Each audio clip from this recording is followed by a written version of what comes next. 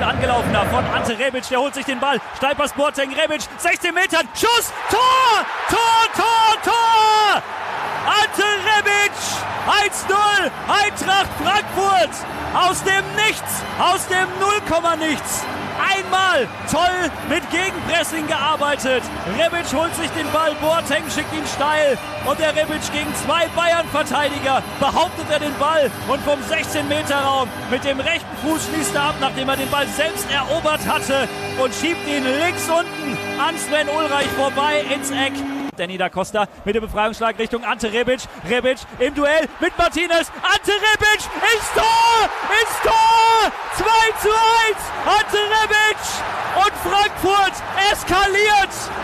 Die ganze Bank ist auf die Wiese gestürmt. Die Mannschaft in der Kurve und die Bayern gucken dusselig aus der Wäsche. Was ist da passiert? Ball kommt rein auf den Kopf von Willems und die Eintracht mit der Chance. Gacinovic allein unterwegs Richtung Tor. Mijat Gacinovic wird der Eintracht Frankfurt zum Pokalsieg schießen. Tor, Tor, Tor, Tor! 3 zu 1. Eintracht Frankfurt. Ekstase auf Hessisch. Here we go. Der deutsche Pokalsieger 2018 heißt Eintracht Frankfurt. Herzlich willkommen zum Eintracht Frankfurt. Wir sind fucking Pokalsieger Podcast. Ich bin Bruder René, außerdem mit dabei Bruder Marvin. Hi. Bruder oh. Basti. Hi. Und Schwester Alex. Dachchen. Ach. Ein Krass, oder? Intro. Ich kann das also kaum kann hören. Ich fange an zu flennen, wenn ich kann. Ich fange ständig an zu flennen, wenn ich diese Ausschnitte sehe. Das ist nicht. Ich weiß auch aber nicht, wie, ja. ich mir die schon angeschaut habe. Hi, hi, hi, aber wie geil, wie geil ist also jetzt dieser Kommentar da nochmal, ne? Der spiegelt es so geil wieder, alles was da war und wie es passiert ist und oh, das Ding von Re äh, von Gacinovic, das zum 3-1, das ist das ist kaum in Worte zu packen. Vor allen Dingen halt gerade nach dieser Situation, ne? Also ich meine, du bist gerade noch dabei, also ich war mir sicher, dass der Elfer gegeben wird. Und eigentlich bist du noch komplett am Boden dann kommt der, der, der, der Videoassistent mit seinem Beweisding dazwischen, dann wird es dann, äh, wird er doch nicht gegeben und im Gegenzug des 3-1, das waren in so kurzer Zeit so krasse Emotionen von 0 auf 100 und wieder zurück. Obergeil. Ja, es war ein denkwürdiger Tag im Grunde. Ne? Ich meine, René hat ja vorhin gemeint, wir wollten vorne anfangen. Ich glaube, das fällt fast ja, ein bisschen schwer, ja.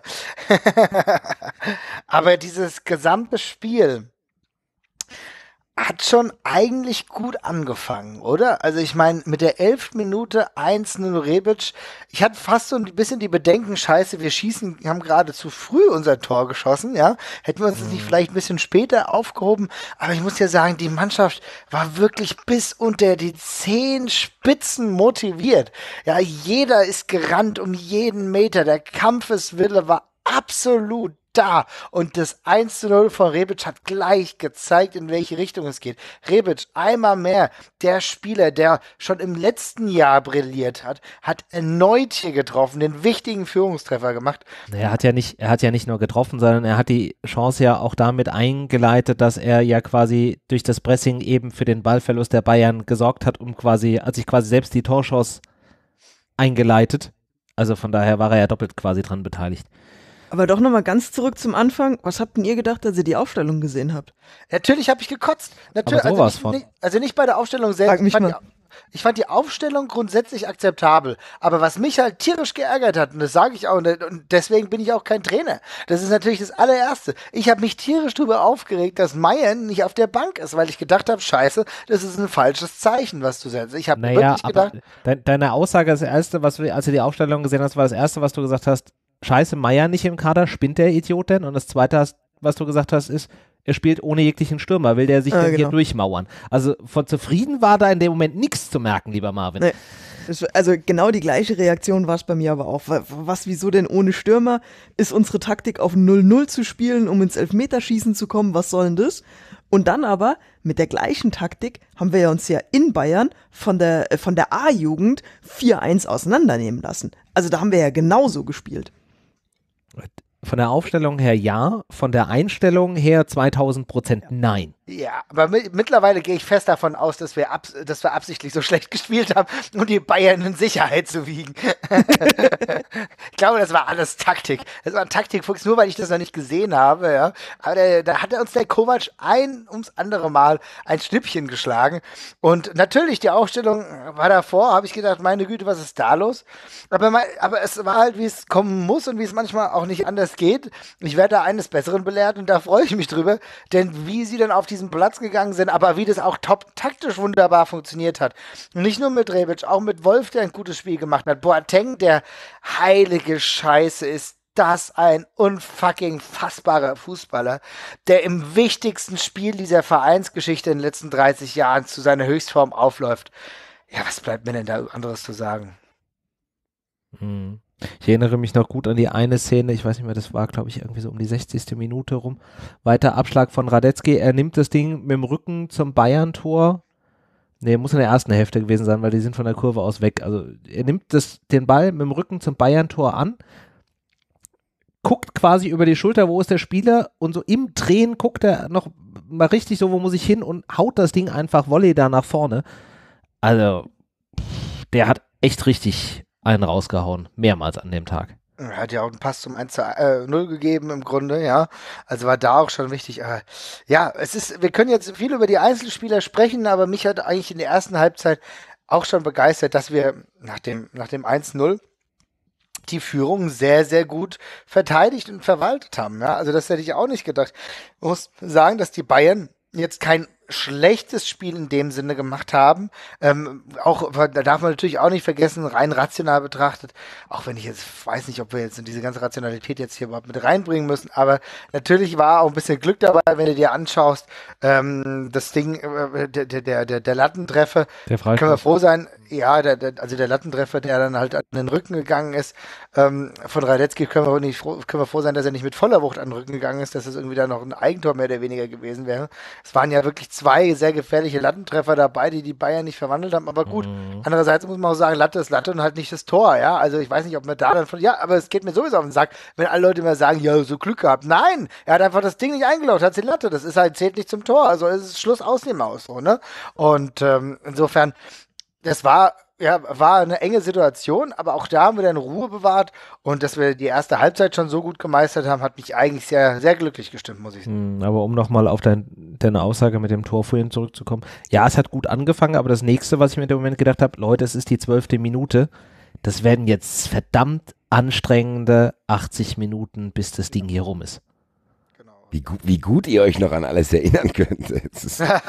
Im Gegensatz zu dir habe ich um drei ja. aufgehört zu trinken, weil ich das Spiel noch erleben wollte. Ja, aber darum ging es gar nicht. Ich, ja, ich, hab, ich war auch irgendwann wieder aus Nervosität nüchtern, aber ich habe in der Halbzeit einfach nur da gestanden und habe fast angefangen zu flennen, weil ich, weil ich irgendwie, ich war fast sauer in der Halbzeit, weil dieser, dieser, dieser Präventivpessimismus, den ich mir probiert habe, irgendwie einzureden, dass es eh nicht klappt, der war da weg. Guckst du dann guckst du eine Halbzeit auf die scheiß Anzeigetafel und denkst, scheiße, die führen hier 1-0, Alter. Was ist denn jetzt? Was mache ich denn jetzt? Jetzt bin ich, hänge ich hier schon wieder drin.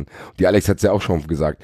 Dann hast du dieses Ding, dann hast du wirklich diesen Schlag in den Magen, der dir komplett die Gedärme raustritt, dass du denkst, okay, die Bayern kriegen jetzt wahrscheinlich einen Elfmeter. Und ich habe gedacht, wenn die, wenn die den reinhauen, dann verlieren wir in der Verlängerung. Und dann, dann ist es ja noch bitterer, als hätten wir irgendwie 6-1 verloren oder so. Ja, das, ja. Das war gar nicht zu verkraften und dann an diese anschließende Szene auch erinnere ich mich fast gar nicht mehr. Also ich weiß gar nicht genau, ganz genau, wie ich, wie ich mich dort bewegt habe oder sonst irgendwas. René, hast du diesen Einspieler noch gerade, den ich mir vorhin gewünscht habe? Können wir den äh, Den Einspieler? Natürlich habe ich einen Einspieler. Du meinst diesen Weil das, hier. das fasst, glaube ich, ganz gut zusammen, dass nicht nur mir so ging.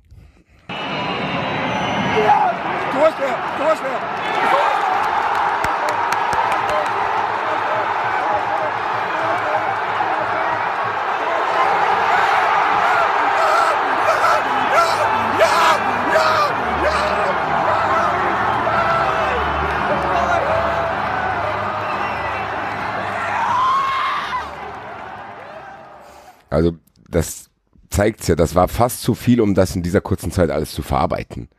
Das, das ist einfach so ein Auf und Ab gewesen. Diese, nach dem Re dieses Rebic-Tor, dann gab's da ja auch nochmal eine Kontrolle, ob das nicht ein Handspiel gewesen ist. Dann wieder, da hast du ja quasi das Tor zweimal bejubelt. Dann zitterst du noch, dann kommt vier Minuten Nachspielzeit, dann kommt diese Szene, die sich ewig zieht, der läuft nochmal raus. alle Leute, die aus der Heimat, die zu Hause waren, haben geschrieben, ja Leute, das war Elfmeter, weil die auch im Fernsehen das scheinbar so gesagt hatten. Und dann hattest du dich quasi schon darauf eingestellt, ja, jetzt gibt's Elfmeter. Auf einmal zeigt der zur Ecke. Du ju- bejubelst das, bist gar nicht fertig damit, das zu bejubeln und dann läuft Gacinovic schon auf das Tor.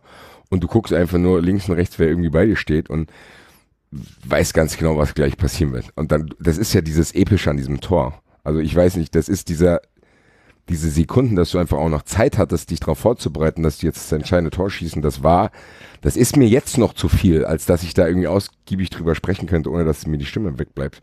Das ist Vor einfach. allen Dingen, das war halt du oberkrass lang, ne? Das fällt dir gerade bei dem, bei dem Einspieler, ist ja, das das Tor ist schnell, das Tor ist aufgefallen. schnell, ja, ja. Genau, und Ja, guck mal, wie lange es dann noch gedauert hat, bis Ja. der Jubel losgegangen ist. Es war halt so, Ja, nicht nur Jubel, sondern auch, wie du merkst, wie quasi so von, von Millisekunde zu Millisekunde einfach die Lautstärke im Stadion immens Ja. anwächst, bis der Ball halt wirklich dann da nachher drin ist und sich das dann da alles entlädt. Also das war, Bist du, Das bist ist du aber auch genau das, warum wir diese Sendung hier machen und warum wir jedes Mal dahin gehen und du hast irgendwelche Leute, die dir was bedeuten, die neben dir stehen. Da sind Männer, die, die sind, was weiß ich, 50, 60 Jahre alt. Hinter mir saß ein 80-jähriger Rollstuhlfahrer, der hat sich die Seele aus dem Leib geheult. Und das, dieser Jubel hat, keine Ahnung, fünf Minuten gedauert. Das war einfach, das ist genau das, warum wir immer wieder dorthin gehen, warum wir sauer sind, uns aufregen und sonst irgendwas. Und jetzt wird hier diese, der Marvin und ich haben es ja, glaube ich, in dem Video gesagt, die Geschichte macht jetzt plötzlich alles, es macht jetzt alles im Nachhinein Sinn. Das ist wie so eine Serie, wo du dich mittendrin aufregst und die, über die ganzen Cliffhanger, die dich abfacken. Und am Ende des Tages denkst du, Alter, okay, in der letzten Folge wird's aufgelöst. Das ist so, Marvin hat ja diesen Spin gemacht mit Heinkes und das ist genau das. Das sind alles Sachen, die da zusammenkommen. Dann steht Charlie Körbel dort und heult mit dem Pokal in der Hand. Das ist einfach, glaube ich, dafür, dass wir heute schon aufnehmen, das sind noch zu viele Sachen, die kann man in der Kürze der Zeit gar nicht verarbeiten. Konnte man an dem Tag auch nicht. Ich weiß nicht, wie euch vor allen Dingen auch die ganzen, die ganzen Folgen, die das jetzt noch hat, ne? Also ich meine, mittlerweile bin ich froh, dass wir nicht über die Liga nach Europa gekommen sind, weil dann hätten wir in die scheiß Quali gemusst. Jetzt Nein, haben wir aber die scheiß. Leipziger noch in die Quali geschickt. Ja, also aber wenn wir dann den Pokal, Ja, genau, wenn wir nicht geholt hätten. So haben wir den Pokal Genau. geholt. Also insofern. Genau. das Ja, das nee, nee, das, genau. was Alex Also das, Ja. genau. Ja. Und ja, all, gut. so die ganzen Konsequenzen auch daraus, ne? Und ich meine, im Endeffekt, ich habe da mal drüber nachgedacht, dass, dass diese ganze Kovac-Kiste mit den Bayern rauskam, ne? Das hat ja nicht nur für uns negative Folgen gehabt, weil eigentlich so ein bisschen für die Bayern auch noch, ne? Also, äh, keine Ahnung. Wenn, wenn Heinkes nächstes Jahr noch Trainer gewesen wäre, wird sich ein Thiago dann äh, er, erlauben, ihm zu sagen, nö, wechsel mich mal nicht aus. Was, also er ist ja, als er, als er runter sollte, zeigt er mit dem Finger so, nee, nee, wechsel mal nicht mich aus. Ne? Also, Stimmt, das habe ich im Nachhinein auch. Das ist ja lustig. Aus einem geht er das, das sind alles so Sachen, also vielleicht hat es bei den Bayern auch einfach ihre eigene Scheiße, die sie angezettelt haben. Vielleicht hat denen das einfach selbst noch einen negativen Touch mitgegeben. Und irgendwie. Was ich auch sagen muss, was der Marvin, was für ein Prophet der Marvin eigentlich ist, und ich wollte es ihm ja in dem Moment nicht glauben, als Marvin gesagt hat, dass wenn Kovac den Pokal holt, dann war er der Einzige von uns, der gesagt hat, äh, dann wird diese Versöhnung stattfinden. Und die hat ja auch noch stattgefunden. Wobei, dieser- das war mir zu krass. Dieser Also Moment, wo die Nico Kovac-Sprechchöre kam und du hast ihn äh, gesehen, wie er angefangen hat zu flennen. Also bei mir war es dann auch so, dass ich ihm, äh, was heißt verziehen, hört sich jetzt auch zu hochtrabend an, weil er hat mir persönlich ja nichts getan, aber du hast dann trotzdem, dass man hat, ja, man hat irgendwie mit dem ganzen Verein seinen Frieden plötzlich geschlossen, mit allen Sachen, die dort uns drum und drum, die uns widerfahren sind, mit diesem Schalke-Spiel, wo man enttäuscht nach Hause gefahren ist. Das hat alles ist plötzlich in diesem Moment, wo Gacinovic auf das Tor läuft, hast du das Gefühl, der Körper verwandelt sich gerade und irgendwas, was du schon ewig mit dir rumschleppst, verschwindet jetzt gerade. Und du weißt genau, dass es alles sich gelohnt hat, dieses ganze Aufgerege, weil wenn man ganz, wir werden ja gleich noch drüber reden, aber wenn man sieht, was das hier den Menschen bedeutet hat, das treibt einem ja immer noch, wenn man nur auf die Straße geht, Gänsehaut in, äh, Gänsehaut äh, in den Körper. Das ist einfach zu krass, aber ich fand was, ich hätte es aber auch nicht gedacht, dass diese Versöhnung so stattfindet, hätte ich mir jetzt persönlich nicht vorstellen können, aber da hat der Marvin äh, recht gehabt, dass das, wenn er den Pokal holt, äh, weil es ist ja auch so, weil ich höre jetzt keine negativen Stimmen mehr. Es sind viel, ich glaube, das geht vielen. Ja, aber genau das, genau das finde ich nicht gut. Also das, das kann ich auch, das kann ich auch in keinster Weise nachvollziehen. Eine Versöhnung ist, ist schön und, und gut, aber ich kann nicht vor dem Spiel, wenn der Name vom Trainer gerufen oder vorgelesen wird, kann ich nicht als komplette Kurve Nico Kovac auspfeifen und 90 Wer Minuten später wegen einem, die ganze Kurve hat gepfiffen. Also ich habe nicht gepfiffen. Ich weiß nicht, was für dich eine ganze Kurve ist, Ich aber das war mit Sicherheit nicht so. mega laut zu hören. Also war, Ja gut, ehrlich, aber es ist halt, aber Alex jetzt mal, ne? Ja, okay, aber Aber das sind die Ahnung. gleichen Leute, die hinterher seinen Namen gerufen haben und das funktioniert Ja, aber das nicht. passiert Also so viel ändern auch. Ich 90 hab- Minuten nicht. Ja, aber du, es ist, das passiert auch in Familien auch. dass man sich streitet und sich Sachen an den Kopf wirft und am Ende verträgt man sich wieder. Das ist trotzdem, glaube ich, einfach auch für die Seele, die, dieser Pokalsieg hat es zumindest mir persönlich erlaubt, das einfach zu denken, okay, das ist für, macht für mich jetzt trotzdem im Nachhinein Sinn, weil ich dann gesehen habe, wie er, wie er es geschafft hat, trotzdem. Und da, ich habe ja auch gesehen, dass ihm das was bedeutet. Diese Kühle, die ich ihm am Anfang unterstellt habe, die war ja gar nicht da. Du hast ja gesehen, okay, von ihm ist genauso viel abgefallen wie von mir. Und ich finde, wenn man ja, wenn man dann auch zwischenzeitlich sauer war. Also ich habe meinen Frieden damit gemacht, ehrlich gesagt. Ich wünsche ihm alles Gute und ich bin, ihm trotzdem dankbar, was er, weil das werden wir trotzdem nicht mehr so schnell erleben, was da passiert ist. Und dann hat er einen Anteil daran. Also bin ich schon. Ja, ja, also ähm, es wird ja jetzt eh schon alles gesagt, ich brauche eigentlich gar nichts mehr sagen jetzt, aber ähm, ich muss schon sagen, ich, also ehrlich gesagt finde ich es natürlich total beschissen, wenn vorher gepfiffen wurde. Ich war natürlich auch mega sauer, dass Meier rausgelassen wurde. Das habe ich auch dementsprechend verbalisiert. Das ist klar, aber trotzdem würde ich den Trainer nicht auspfeifen. So einem wichtigen Spiel ist es auch mega uncool. Also keine Ahnung, weiß ich nicht. Also wusste ich, ich habe, ich bin auch, also ich bin wahrscheinlich auch fünf Minuten vorher erst reingekommen, weil äh, weil die Fashion-Buben in ähm, Berlin es wieder nicht hinbekommen haben, den Einlass einigermaßen ordentlich zu machen. Ich habe eine Stunde draußen gestanden schlecht.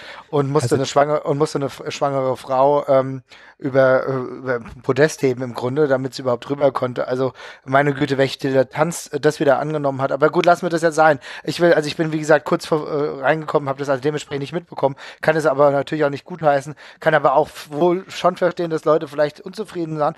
Aber man muss auch sagen, ich habe jetzt schon gehört, dass es Leute gab, die jetzt nicht äh, nicht versöhnt waren. Da muss ich halt bei- sagen, Leute, also zieht, versucht euch das mal reinzuziehen, äh, welche Kreise er in Frankfurt gezogen hat. Da kann ich nur sagen, Klassenerhalt in einer nahezu ausweglosen Situation, eine konstante Weiterentwicklung mit einem Pokalfinale, jetzt ein Pokalsieg, was einer der monumentalsten Ereignisse dieser Ge- Vereinsgeschichte ist, mit gleichzeitigem Europacup-Einzug.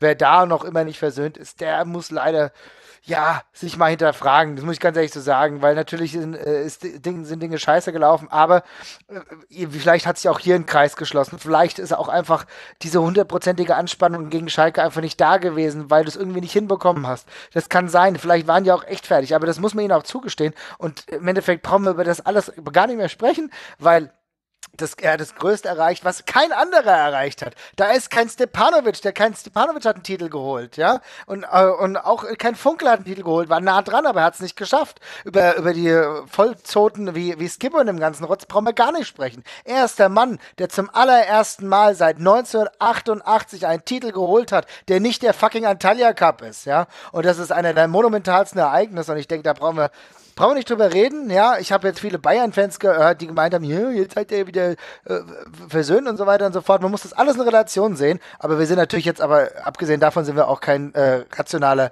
ähm, neutraler Podcast. Also da kannst du Tobi Escher hören, da brauchst du uns nicht hören, so, ne? Also das ist auch klar. Ärgert mich. Aber gut. Ich, ich merke, ihr findet hier keinen Ansatz, insofern gehen wir Nee, einfach, würde ich Ja, ich bin, ich bin halt, ich bin halt äh, komplett konträrer Meinung, aber das brauchen wir auch nicht ausdiskutieren. Ist ja auch ich okay. finde halt, also ich bin noch nicht versöhnt. Das heißt aber nicht, dass ich seine Leistung nicht anerkenne und das heißt natürlich auch nicht, dass ich mich nicht über den Pokalsieg freue. Aber was er da gemacht hat, ist und bleibt scheiße und da werde ich mich auch nach wie vor Ja. darüber aufregen. Und da kann Aber du weißt halt auch nicht, du weißt aber, du weißt aber nicht, und das ist halt immer noch genau der Punkt, du hast keinerlei Ahnung, ob, äh, ob das äh, voll, vollkommen in seiner Macht ist. Also du, du gehst ja von, du gehst ja, aber ja das wusstest du vor vier Wochen auch nicht, als du dich darüber aufgeregt hast. Ja, aber, aber trotzdem haben wir aber trotzdem immer abgewogen. Also wir haben immer abgewogen, haben gesagt, gut, es wird, 100, wird äh, allergrößter Wahrscheinlichkeit von Bayern lanciert gewesen sein. Und das ist ja genau das, was wir Egal, wer es lanciert hat. haben. Also, ja, die haben heute Morgen angerufen und da habe ich mir schnell unterschrieben und jetzt ist es halt rausgekommen, tut mir leid. Also, verarschen braucht er mich auch nicht. Das, das ist halt auch ein Punkt dabei, ne? Also, aber auch dazu wurde eigentlich alles gesagt, wenn er anders damit umgegangen wäre, wäre überhaupt kein Thema aufgekommen. Aber das Thema war da und das ist für mich nach 90 Minuten, die gut gelaufen sind, im Vergleich zu Wochen davor, wo die 90 Minuten immer kacke gelaufen sind. Ähm, und es war nicht nur Schalke, ne? also es waren ja, es waren ja die ganzen Spiele davor. Auch Gut, aber trotzdem Spiel hab ich gegen noch- den HSV war ein, ein Scheiß. Auch, keine Ahnung. Das Spiel in München war nicht geil. Ja, ja, klar. Aber trotzdem äh, sehe sehe ich als Ganz eine ehrlich, andere- das ist mir sehe alles ich eine andere. Gewichtung. Sehe ich eine Das ist andere alles- Gewichtung ey, ganz ehrlich, zwischen einem normalen besser noch. Ligaspiel und, und einem DFB-Pokalspiel. Also ganz ehrlich. Es ist doch jetzt alles gut. Ich meine, guck mal, wir haben Leipzig in die Quali geschickt. Wir kommen direkt in die scheiß Gruppenphase. Wir haben jetzt alles, was wir irgendwie schon da wegschwimmen haben sehen, ist jetzt wieder da. Also es ist doch, plötzlich hatte ich wieder einen aus diesem schlechten, äh, aus dieser versteckten Kamera, haben wir es ja teilweise genannt, dass du gedacht hast, ey, die Saison läuft so geil und am Ende verkacken wir die komplett mit diesem ganzen, mit dieser ganzen Unruhe, um nur um am Ende noch viel, viel spektakulärer zurückzukommen. Genau. Also- das also ist halt die, die- Geschichte, die erzählt wird. das ist die Geschichte. Genau, genau, das ist wie, das, der Marvin und ich haben es ja auch trotzdem wie so ein Wrestling-Kampf genannt, der einfach so lange erzählt wird und am Ende gibt's dieses Finish, wo irgendeiner im Publikum sitzt und einen Mund nicht mehr zukriegt. Und das ist genau das, was mir auch passiert ist. Ich habe gedacht, ich stehe im Wald, als wir aus dem Stadion raus sind und gesagt haben, ey, wir haben eben nicht nur den scheiß Pokal gewonnen, sondern wir spielen nächstes Jahr auch drei sichere Auswärtsspiele in der Gruppenphase in Europa.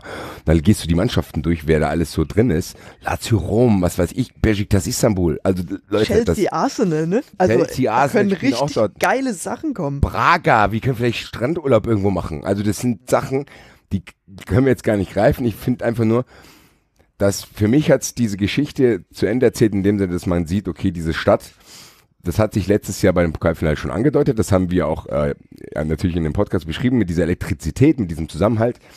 Aber das ist ja hier nochmal komplett über den Kessel explodiert. Also das ist ja, was hier los war, das ist ja nicht normal. Du hast ja nicht nur die Leute am Römer gehabt. Du hast ja die Leute, die die ganze, der ganze Weg vom Flughafen zu dem Römer war voller Menschen, die einfach draußen standen, um diesen Leuten zuzujubeln. Das sind eigentlich Bilder, die kennen wir hier nicht so krass. Also das sind nicht diese, das sind nicht diese Mallorca, Deutschland spielt, bla bla bla, alle hängen draußen mit Bändchen rum. Nee, das ist ehrliche Freude von Leuten, die da so lange drauf gewartet haben und die mit diesem Verein auch viel mitgemacht haben. Also die Fans haben das auch verdient, das muss man ganz so sagen. Das soll gar nicht irgendwie arrogant als Fan klingen, aber ganz ehrlich, wir haben hier auch schon so viel Scheiß mitgemacht, so viel Enttäuschung kurz davor.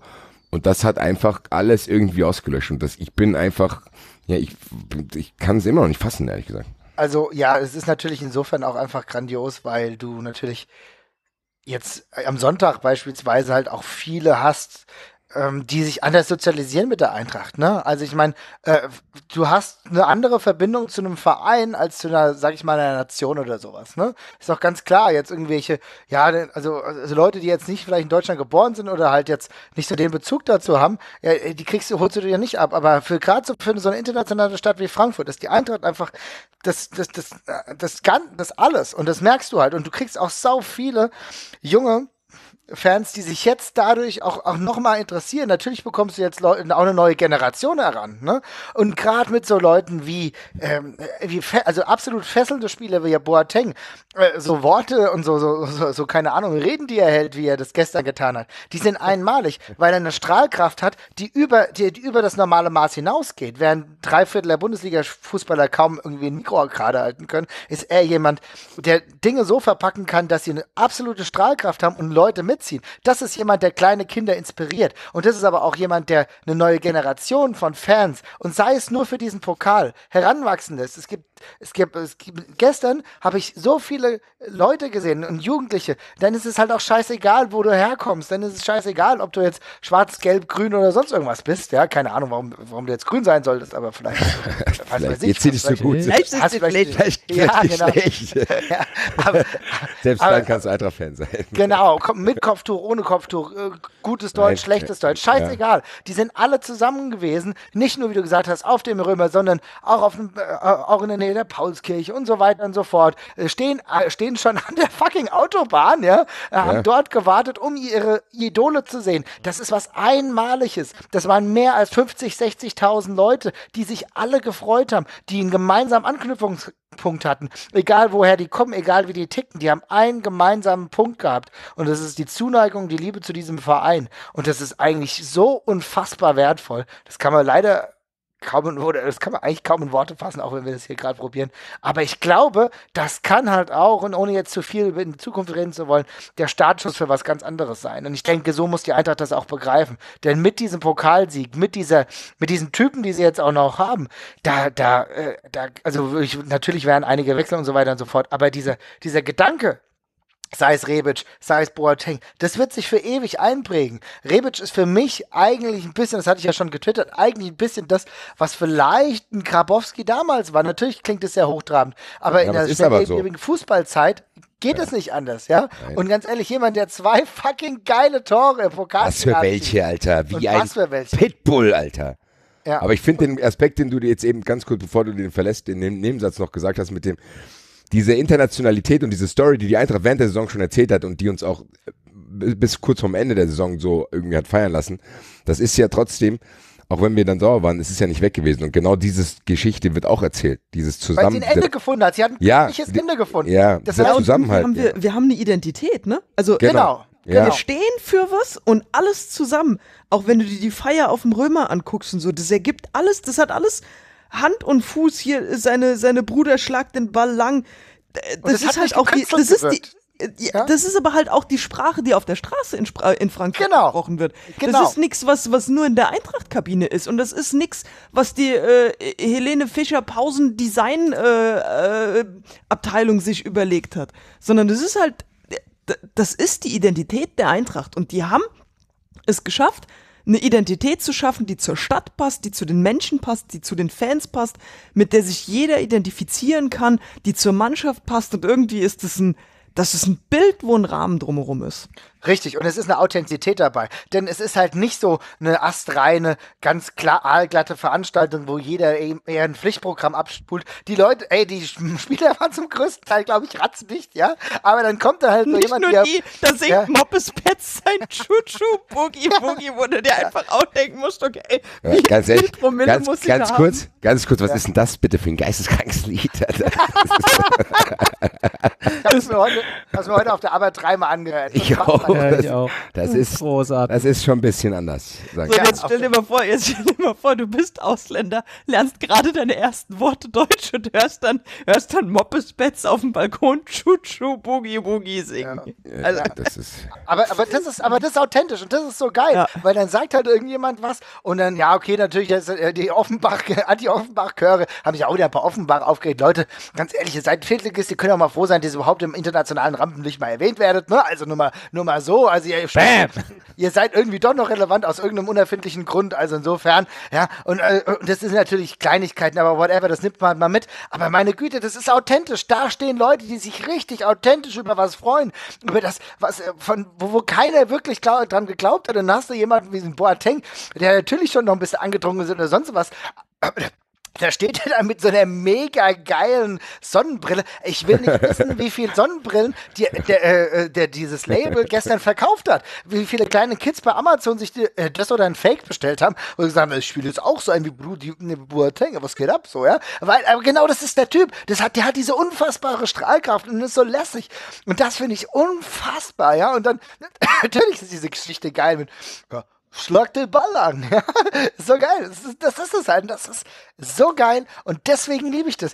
Ich brauche keine geschliffenen Reden, wo mir jemand haarklein taktisch erzählt, ja, wir haben die ganz gut überspielt und auf der rechten Außenbahn. Nein, fuck, das sind Ja. wir. Das ist die Eintracht. Ich brauche nicht dieses Rationale. Ich brauche diese Emotionalitäten, weil nur dadurch können wir auch gewisse Täler, die wir hatten in den letzten 30 Jahren, gerade nach dem Abstieg, nach dem ersten Abstieg übrigens, gerade nach der äh, Situation mit, äh, mit Höhen, sag ich schon, mit Heinkes, gerade nach dieser Situation, wo wir unglaublich oft eigentlich durch äh, Dinge durchlitten haben. Deswegen brauche ich Identi Identifikation und Authentizität, weil sonst brauche ich den ganzen Scheiß auch nicht. Eine aalglatte Kackmannschaft wird mich hier nicht mehr abholen. Die holen mich ab und die haben das Ultimative erreicht. Und ich, da werde ich halt irgendwann, wenn ich mal selbst Kinder haben sollte, werde ich denen davon erzählen und ansonsten erzähle ich es einem Hund oder so. Das ist auch geil. Ja, vor allen Dingen aber auch, dass die, dass so die Vereinsführung das auch verstanden hat und das mitzieht, ne? Also ich meine, auf welcher Meister, Pokal oder sonst was Feier dürfen denn bitteschön die Ultras mit auf den Balkon und kriegen das Mikrofon? Also in welchem Verein gibt's denn das? ja, es ist aber, auch- ich fand's auch geil, dass die da einfach mit Pyro oben stehen. Ich wollte gerade sagen, Einfach äh, mal zu sagen, ey, klar ist das auch grenzwertig, man kann darüber diskutieren, aber Leute, mal ein bisschen Druck aus der Debatte nehmen. Ich habe mir keinen Bock anzuhören. Ich habe es aber auch ignoriert, weil ich einfach viel zu gut drauf war. Aber das, was gab's da dafür kritische Stimmen zu? Ja, Tausende ohne überall im Ende. Fernsehen. Ja, von ja. wegen, oh, bam, Die haben, die haben wegge, die haben weggeschenkt. überschattet. Weil als, als der eine Fan auf Gacinovic zugerannt ist und die Spieler mit den Fans zusammen gefeiert haben, da hieß es von wegen, man weiß ja nicht, was die da in der Tasche haben, als wenn jetzt einen ab. Diese Fans Also haben- gerade, die haben Ja. gerade den schönsten Moment ihres Lebens erlebt. Also zumindest in, Ja. in ihrem Fanleben. Und rennen da auf dem Platz und ich habe auch mit teilweise mit den Leuten gesprochen, die dort waren. Teilweise wurden die auch konnten die gar nicht anders, weil von hinten, also diese, einfach diese Masse, die mussten aus Sicherheit schon dort weg, ist- weil äh, ja. Leute auf dich fallen, dann standen die eben da und dann sind die auch völlig fertig in dem Moment, weil du es gar nicht begreifen kannst, den Leuten zu Ja, ja, unterstellen, nee, dass das- sie da randalieren wollten. also, Das ist doch Das- genau der Punkt. Ja, vor allen Dingen, wer, wer, wer dir der Sky-Reporter war das auch, der dann gesagt hat, naja, du weißt ja nicht, äh, zwischen den 60.000 Fans, da werden auch 50 Idioten mit Messer und so sein. Als wird da jemand auf, Also das- auf den Platz rennen und die Spieler abschlagen. Also, ich was ist da finde los? ich finde es krass, dass wir das jetzt schon ansprechen. Eigentlich ist ein, eigentlich ein Punkt für nachher, weil jetzt waren wir eigentlich in einer guten Stimmung. Aber hier muss ich natürlich ganz klar festhalten, ich hatte das erst gar nicht gesehen, bin eigentlich durch euch darauf aufmerksam geworden, muss aber leider äh, feststellen, dass wir hier in einer komplett falschen Filterblase, also die Journalisten, äh, diese, die, die, die offensichtlich diejenigen, die sowas sagen, in einer komplett falschen Filterblase, einer über, ja, wie soll ich sagen, einer ähm, einer Überdrehung äh, der eigenen Wahrnehmung anscheinend erfahren, denn ganz ehrlich, das ist alles fernab der Realität. Äh, welches Bild in der letzten Zeit von Fangruppierungen, von Ultras und auch von Pyrotechnik gezeigt wurde, hat im absolut geringsten Ausmaße ein, ähm, ein, ein, ein, einen wirklich realen Anspruch. Das muss ich sagen. Wenn ich sowas höre, dass überhaupt ich auf die Idee komme, zu sagen, ja, da werden ja 50 mit Messer dabei sein, dass ich überhaupt diese Überlegung anstelle, dass ich dann aber noch sage, das könnte gefährlich sein, dann ist es für mich in einer gewissen Art und Weise sogar schon rufschädigend. Und da muss ich wirklich fragen, als rationaler Betrachter eines Spiels, äh, eines Fußballspiels, muss ich mich eigentlich mit Gegebenheiten besser auskennen und solche Aussagen ja pf, zumindest unterlassen. Aber ähm, also das ist echt bitter. Keine Ahnung, da könnte man sich theoretisch auf offizieller Bühne nochmal beschweren, wenn denn sowas zu Leuten vorzuwerfen, das ist doch ganz klar, dass dann auch die Fans, was ist denn los? Das ist ein episches Ereignis. Das hast du nicht jedes Jahr. Du bist halt das nicht hat- jedes Jahr deutscher Das hat aber keiner verstanden in dem Moment. Also Ja. d- da ging es wirklich immer nur, ich habe mir ja auch so ein paar Dinger noch irgendwie nach, äh, nachher angeschaut und durchgelesen und in vielen Dingern war wirklich dann irgendwie drin, äh, Platzsturm gewaltbereiter Fans. Da war keiner gewaltbereit. Da ist nur einfach sämtliche Emotionen, die sich in 94 Minuten aufgebaut hat, raus und die haben sich halt einfach gefreut. Also Vor allen Dingen hast du auch Ja. mal gesehen, wie locker die gewaltbereiten äh, Stürmer einfach zurückgegangen sind. Da wurde sich kurz gefreut. Die Polizei ist aufgelaufen, die mussten noch nicht mal eingreifen. Ja. Die Spieler haben, haben nach vorne gewunken und die Fans haben sich rumgedreht und sind wieder auf ihren Platz gegangen. Was ist denn da los? Lass uns unsere Also, Euphorie da von so einem Scheiß nicht kaputt machen. Wir werden in der Dummschwätzer-Kategorie dazukommen noch, glaube ich. Da sind, Ja. glaube ich, einige dabei, die da Genau, sich genau vollkommen gemacht haben. Ja. Weil, ja, aber es ist halt schade, dass, äh, dass Nein, sowas, ja, was es ich gar auch. nicht mitbekommen habe. Zum Glück habe ich das erst, ich muss ehrlich sagen, ich habe das bis gestern gar nicht mitbekommen. Gestern Abend habe ich zum ersten Mal überhaupt sowas gelesen, weil ich ehrlich gesagt viel ausgeblendet habe. Ich, ich, weißt du, das sind dann so Momente, ganz ehrlich, wir haben so oft, auch in der, auf, in, auf der gesamten Welt haben wir so oft Scheiße und dann kann man Ja. mal ein paar Tage die Kacke ausblenden und sich einfach darüber freuen, was das Purste ist, und zwar, dass du einen ehrlichen, ja, vielleicht einen, teilweise äh, durch diese Ereignisse ein bisschen glücklichen Sieg, ja, aber selbst wenn es Elfmeter gegeben hätte, na und, den hätte, den hätte vielleicht Radetzky gehalten, dass immer über so Hypothesen gesprochen wird. Natürlich ist es vielleicht für uns ein bisschen glücklich gewesen, aber andererseits haben wir nicht 1 zu 0 knü- glücklich gewonnen, sondern wir haben drei fucking Tore geschossen. Schieß erstmal gegen die Bayern in dem wichtigsten Spiel, im Pokalspiel, im Endspiel drei Tore und erzähl mir dann, ob es wirklich glücklich war. Also dann können wir nochmal drüber sprechen. Denn ganz ehrlich, jeder ist hier bis an die Grenzen seines Machbaren gegangen. Wenn ich sehe, dass Hasebe eine, eine, ähm, ein- wie, soll ich sagen, eine Grätsche Diese schlägt, Mördergrätsche die voll da. gefährlich ist. Aber die haut er raus und äh, die sitzt punktgenau. Was soll ich denn dazu noch sagen, wenn ich sehe, dass Abraham als Kapitän äh, wahrscheinlich einer seiner besten Spiele macht in einem so wichtigen Spiel. Wenn Radetzky sicher ist wie eine Eins, ja dann dann merke ich doch, die Mannschaft will das bis an, bis an, das, an den letzten Rand. Und das ist übrigens genau das, und da muss ich sagen, ist halt so, was den Bayern gefehlt hat. Da habe ich bei einigen Spielern nicht gesehen, dass, die bis an die Grenze gegangen sind. Und das will ich gar nicht kritisieren, es ist halt so. Aber dann musst du halt auch mal ganz klar feststellen, und das haben die, übrigens die allermeisten Bayern-Fans, das muss ich mal ganz klar sagen, das können wir hier nochmal auch noch mal einstreuen, wie viele freundliche Messages wir, wir hauptsächlich via Twitter bekommen haben, die alle gesagt haben, die sich alle, obwohl sie Bayern-Fans waren, die sich alle für uns gefreut haben, die auch gesagt haben, Mann, krass, wir haben's, wir, wir waren echt die schlechtere Mannschaft und ich muss echt sagen, cool, dass ihr das Ding geholt habt und so weiter und so fort. Oder auch Leute, die gesagt haben, scheiße, ich ärgere mich, aber Glückwunsch trotzdem. Da muss ich sagen, im höchsten Maße Respekt, denn in der Niederlage auch Größe zu zeigen, bedeutet mir persönlich immens viel. Also da kann ich mich nur bedanken, da merke ich, dass wir zumindest in unserer Twitter-Filterblase extrem viele Leute haben, die extrem cool sind und die reflektiert genug sind, Dinge auch so zu beleuchten und vielleicht sich selber bzw. die Mannschaft zu kritisieren und nicht irgendwelche äußeren Umstände. Da merkt man, dass wir vielleicht in diesem kleinen Kreis äh, viel sinnvoller über gerade Pyrotechnik und andere Sachen diskutieren können, was im großen Rahmen vielleicht aufgeht, gar nicht mehr so möglich ist. Also da freue ich mich sehr. Aber die Eintracht hat es geschafft, mit dieser eigenen Stärke zum Erfolg zu kommen. Und das muss man bewerten, wie Gacinovic Ja. nach 60 Minuten reinkommt. Alter, was macht der denn für ein Spiel? Den habe ich, glaube ich, noch nie so gut nach einer Einwechslung gesehen. Das ist unfassbar. Das war halt auch so, ne? Die, die Aufstellung habe ich gesehen, dann wechselt der Gacinovic auch noch ein. Das waren alles so Momente, wo ich mir dachte, echt jetzt. Gacinovic hat in den letzten Wochen, wann immer er reingekommen ist, kein gutes Spiel gemacht. Ja, bei weitem nicht. Und es war Ja. alles. Es Aber war lass alles uns doch das einfach gestellt. mal. Wir haben auch ganz viel zu wenig über Ante Rebic gesprochen. Diese zwei Tore, wie ein Pferd läuft er da durch die Abwehr, die eigentlich Vorsprung hat. Also und kann sich gar nicht stoppen lassen. Also der hat eine Wucht in seinem Körper drin und kann gleichzeitig aber dann noch seine Muskeln bewegen und so beim 2-1 zum Beispiel den Ball irgendwie noch da reinstupsen. Das ist nicht normal. Dieser Typ ist einfach, wir haben den ja eh schon öfters hier ein bisschen gefeiert, aber das ist eine Maschine. Ja, das ist eine Maschine. Das ist einfach, wenn der Marvin hat recht, wenn er sagt, das wird irgendwann, natürlich braucht so eine, so eine, Ver, so eine Vergangenheitsverklärung natürlich auch Zeit, aber wir werden in fünf bis zehn, 20 Jahren, werden wir von Ante Rebic, egal ob er jetzt schon wechselt, werden wir genauso reden. Das ist einfach so, weil ein Uwe Bein zum Beispiel hat auch nicht so lange in Frankfurt gespielt, Nein, aber hat halt, hat halt einen Teil hier dazu beigetragen. Das ist so. Jeboa ist auch dann irgendwann gewechselt. Aber es sind diese, und ich habe mir jetzt auch nämlich gedacht, eigentlich müsst ihr jetzt an den Willy Brandt-Platz fahren und direkt in die nächste Säule dahin machen, weil das ist ein Spieler, der uns einen Erfolg beschert hat.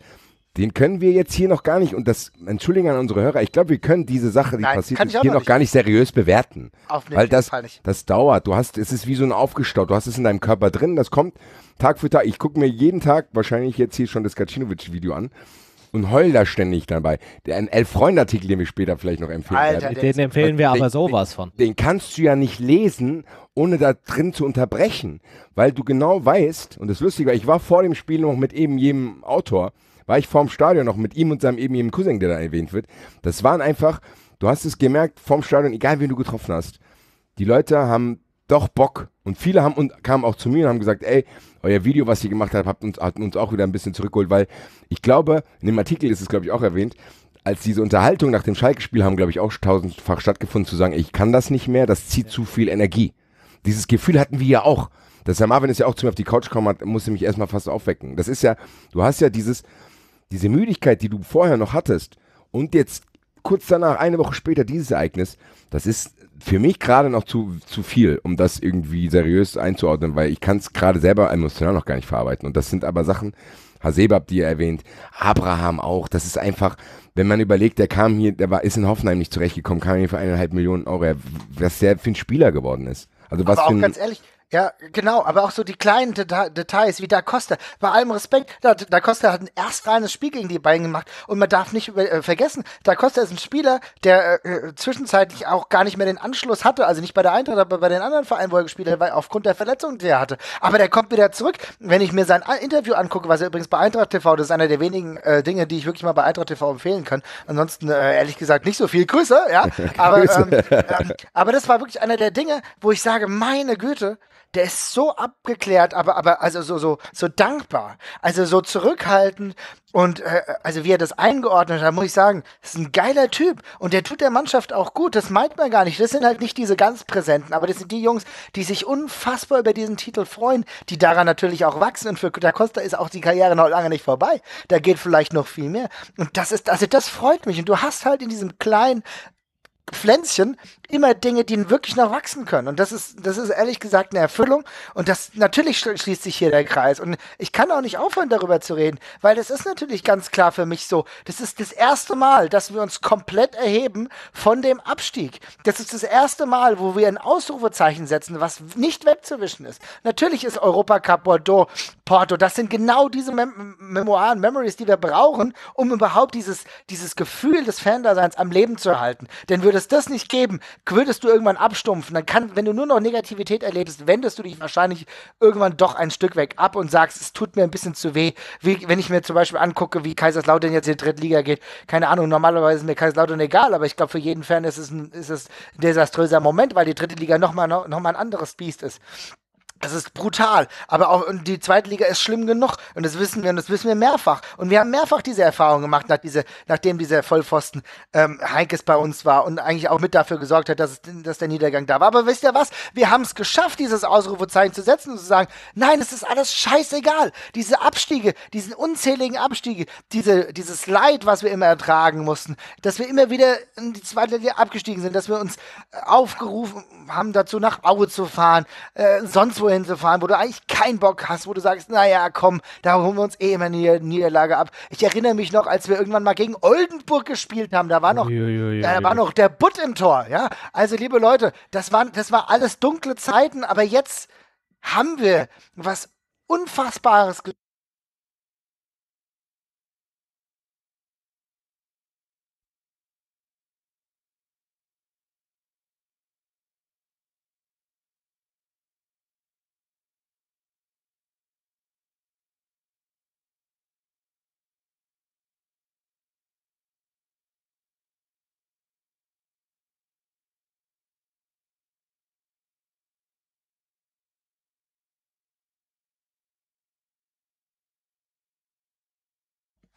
Sorry. Aber wo du gerade eben. Jupp Heynckes angesprochen hast, ähm, um nochmal hier auf Kai Dittmann, den unglaublich äh, professionellen Reporter von äh, Sky zurückzukommen. Mhm. Darüber hat er sich im Übrigen auch beschwert, als äh, Jupp Heynckes vom Platz gegangen ist und die Fans gepfiffen haben, also die Eintracht-Fans gepfiffen haben. Mhm. Ähm, wie, wie man denn so sein könnte, äh, auch wenn er keine gute Zeit in Frankfurt gehabt hat, dass man jetzt äh, so auf dem Lebenswerk eines großartigen Trainers äh, rumkommt. Das ist unverständlich Ficken, und Alter, unerhört, ficken. genau.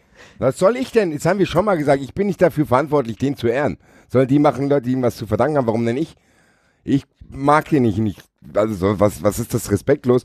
Und auch diese, diese unfassbare Empörung über das Banner, was da vorm Spiegel ist. Meine Güte, das ist vielleicht ein bisschen drüber, aber man muss auch nicht immer so tun, als wenn dort irgendwelche Tiere aufgeschlitzt werden. Nein. Ich weiß nicht, da stand halt, Heinkes lebt, stand jetzt, mein Gott, das ist ein bisschen überspitzt. Es ist provokant, aber wir Ja. brauchen doch Es ist aber auch Ja. witzig. Ja, Ja, natürlich jetzt weg. Ja, das sind, das ist, Aber- aber das wir wäre auch so eine Schlagzeile, die würde auch irgendwie gefühlt dreimal die Woche auf der Bildzeitung auf der ersten Seite stehen. Da beschwert sich auch keiner. Also, Aber das ist mir ganz ehrlich, Leute, das ist mir scheißegal. Wir brauchen diese Emotionen. Die Eintracht, die Eintracht-Fans sind halt keine konformen Fans, die immer nur alles machen, damit es möglichst einem großen äh, Part passt. Das ist doch das, nicht was- Frankfurt. Das ist was doch soll ich ganz denn- ehrlich. Ja? Was soll ich denn Ja? sein Lebenswerk, was soll ich denn als Eintracht-Fan sein, sein Lebenswerk äh, anerkennen und vielleicht noch bejubeln, wo er ist es noch nicht mal unseren Sieg anerkennt und einfach nach der äh, Medaillenverleihung mit Das ist seinem kompletten. Team einfach in die Kabine reingeht. Ach, das weißt du übrigens, ganz, ganz ehrlich, die Spalierdiskussion geht mir auch auf den Sack. Ist mir doch scheißegal. Ja, das ist mir Wir haben den Pokal. ob Ich will mich doch nicht, ja. daran aufreiben, dass die anderen vielleicht irgendwie nicht, nicht gut genug oder nicht klasse, klasse genug sind. Wir müssen auf uns selbst gucken. Und wir haben den Pokal geholt. Was die Bayern machen, ist mir scheißegal.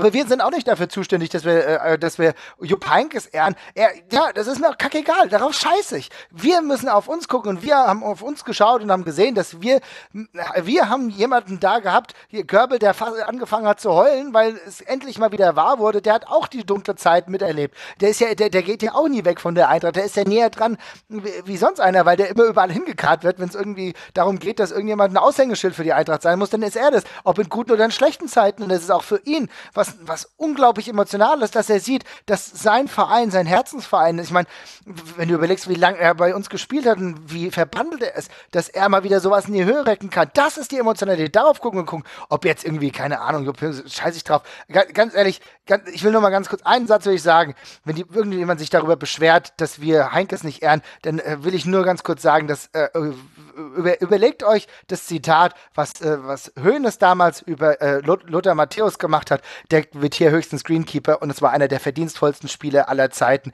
die es beim FC Bayern gab, einer der besten Spieler beim FC Bayern. Bei so einer Aussage eines Offiziellen brauche ich nämlich nicht auf ein anderes Podest stellen und dann irgendwie denken, dass die Eintracht-Fans irgendwie nicht respektabel genug sind. Die Eintracht-Fans ist eine wilde Crowd, so muss es sein, so lieben wir sie, so haben wir manchmal auch unsere Probleme mit, aber das ist die Authentizität, die es braucht in, einem, in einer genormten Fußballwelt. Punkt aus dem Aus. Yes. yes. Yes, yes. Aber es war auch geil, man muss auch mal vorm Spiel schon eigentlich anfangen. Das war auch schon geil. Also irgendwie die Stimmung in Berlin auf dem Breitscheidplatz und dann später auf dem Fanmarsch. Das sind auch Momente, die gehören auch dazu. Da triffst du Leute, die auf dich zukommen, die du vielleicht auch lange nicht gesehen hast. Jeder, echt eine Menge da. jeder ist irgendwie miteinander verbunden und du hast irgendwie ja, alle gesellschaftliche Zurückhaltung, will ich es mal nennen, ist aufgehoben. Du, wenn du jetzt einfach zu irgendjemandem gegangen bist, den umarmt hast, das, im Alltag würde er wahrscheinlich denken, du willst ihm die Tasche klauen. da war das ganz normal. Das war einfach ganz normal. Das war so eine, da lag so ein Spirit in der Luft, der war irgendwie echt geil. Also du hast irgendwie, vor dem Spiel hat sich das schon dann natürlich wieder vorm Spiel Tanker hatte, die Choreo war auch geil mit Charlie Körbel, als er das gesehen hat allein, als er den Pokal reingetragen hat, dann dreht er sich erst nach da, nach da, dann sieht er das, dann hast du auch gesehen, das nimmt ihn auch schon mit. Die war, sind- ja, war aber auch großartig. Das sind alles Sachen, ja, und was sich dann auch noch hier in der Stadt abgespielt hat. Grüße an alle, die ich getroffen habe. Ich weiß gar nicht mehr, wer das alles war. Es ist einfach, äh, das ist einfach so großartig und das hört noch nicht auf. Das ist einfach so, jetzt werden schon die Sachen rumgeschickt. Hier, äh, nimmt euch alle frei. 31. August ist, glaube ich, die Auslosung oder wann? 31. August ist die Auslosung und vorher ist ja irgendwie noch äh, dieser komische Supercup. Ja, und dann setzt man sich mit seinen Leuten zu Hause hin und bucht irgendwelche Hotels und Flüge und so. Es, es hört ja jetzt nicht auf mit diesem Ding. Es ist, der Marvin hat es gesagt, es kann der Start von was Geilem sein. Aber ich muss auch sagen, selbst wenn die Eintracht, wie wir die Eintracht von früher kennen, das verkackt, wie wir das schon mal mit einer Europapokalteilnahme gemacht hatten, das ist mir auch egal. Ich bin jetzt für die nächsten fünf bis zehn Jahre Minimum versorgt. Also das ist trotzdem so eine, so eine Sache, ja. da schließt sich trotzdem so ein kleiner Kreis, der die ganzen Enttäuschungen aufgehoben hat und einfach wieder auf Reset setzt. Also man hat jetzt einfach auch wieder Kapazitäten für Enttäuschung. So wie, wie die Sachen, die wir auch schon erlebt haben.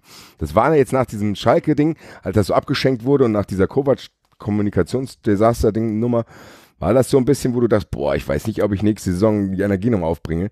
Das ist aber jetzt alles wieder auf Null gesetzt. Es ist einfach Ja. wieder da, du hast jetzt Bock. Und Marvin hat mir heute Morgen auch schon geschrieben, ey, das ist das Geilste und ich kann es nicht begreifen. Aber Marvin hat auch schon die Gedanken zu sagen, ey, was passiert jetzt?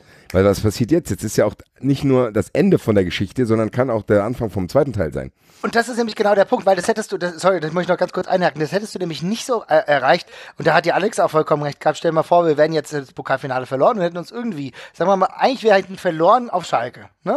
Hätten verloren auf Schalke, was wir, was wir getan haben, aber die Bayern hätten auch ähm, gewonnen gegen Stuttgart. Dann wären wir ja eigentlich mit einem relativ unguten Gefühl dann doch noch in Europa eingezogen. Ne? Weil wir haben eigentlich auch eigentlich jetzt ein bisschen alles verloren, haben irgendwie noch Platz 7, okay. Naja, und jetzt DFB-Pokalfinale haben wir auch verloren, naja, okay.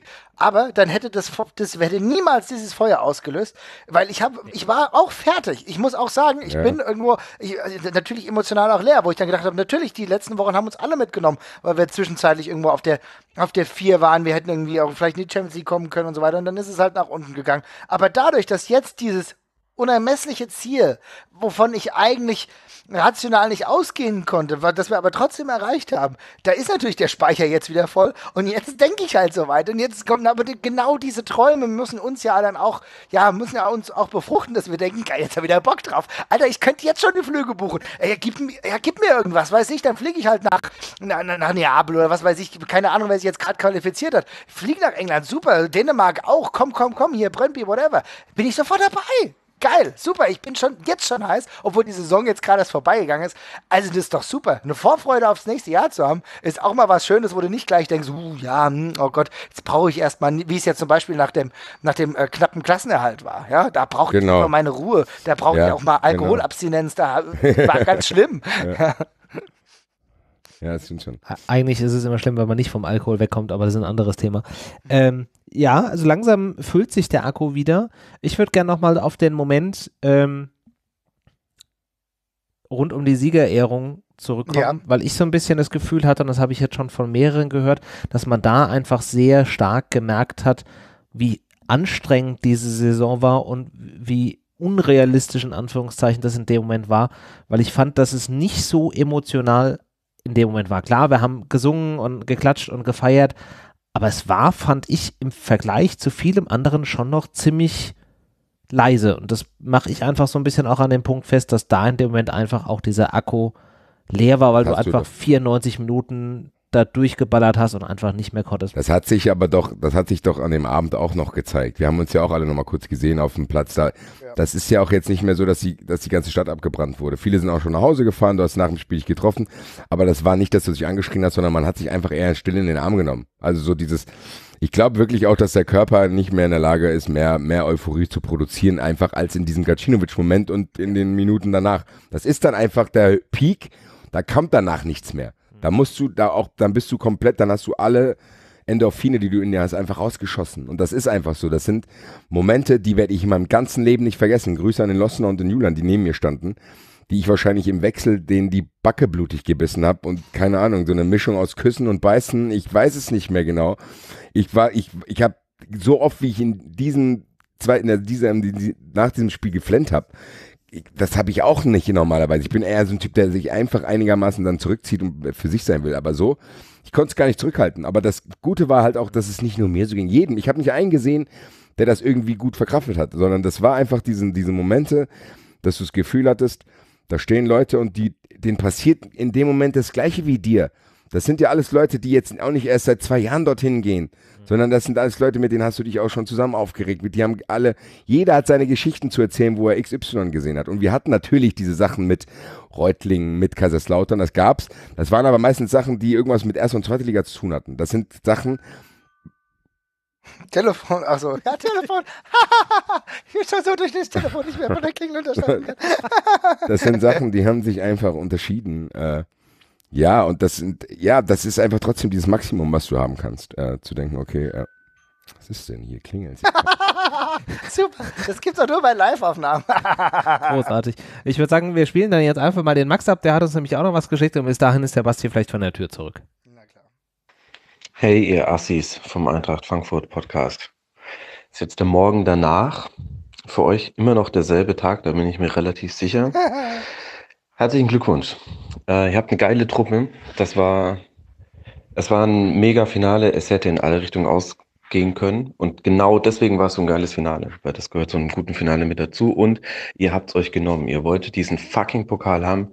Ihr habt ihn in die Hand genommen. Ihr habt ihn euch nicht entreißen lassen. Und dann habt ihr es auch definitiv verdient. Und es war eine der besten Eintracht Frankfurt-Mannschaften, die ich gesehen habe, auch eine der besten Leistungen. Ich kann mich an eine Eintracht erinnern, die in großen Momenten immer mal wieder dusselige, dumme Dinge getan hat. Ich, äh, ne, der tollpatschige Kellner, das hat schon sehr, sehr gut gepasst. Diesmal wart ihr kein tollpatschiger Kellner, sondern ihr wart eine Wiesenbedienung mit 20 Maß in der Hand, die das ganz locker wegrockt und egal, um ihr außenrum explodiert das verdammte Wiesenzelt. Aber das ist ihr einfach scheißegal. Die macht einfach ihr Ding und ist deswegen die Heldin. Das seid ihr. Ihr seid eine Wiesenbedienung. Also herzlichen Glückwunsch. Genießt das Ganze. Macht bitte eine Podcast-Folge dazu. Irgendwann werde ich wahrscheinlich dann auch ertragen, die dann mal anzuhören. Vielleicht auch erst in ein paar Jahren. Aber für euch wird es immer eine schöne Erinnerung sein. Feiert schön und äh, fangt einfach viel von dem, von dem Tag ein. Ja. Grüße, Grüße, nicht vom Rasenfunk, sondern einfach nur der Max grüßt jetzt mal den Eintracht Frankfurt Podcast. Schickt es den anderen bitte auch. Feiert schön. Ja, vielen Dank an äh, unseren ehrenwerten Freund Max vom Rasenfunk, den wir ja auch Samstag dann noch auf dem Breitscheidplatz getroffen haben. Ähm, schön war's. Mhm. War definitiv schön.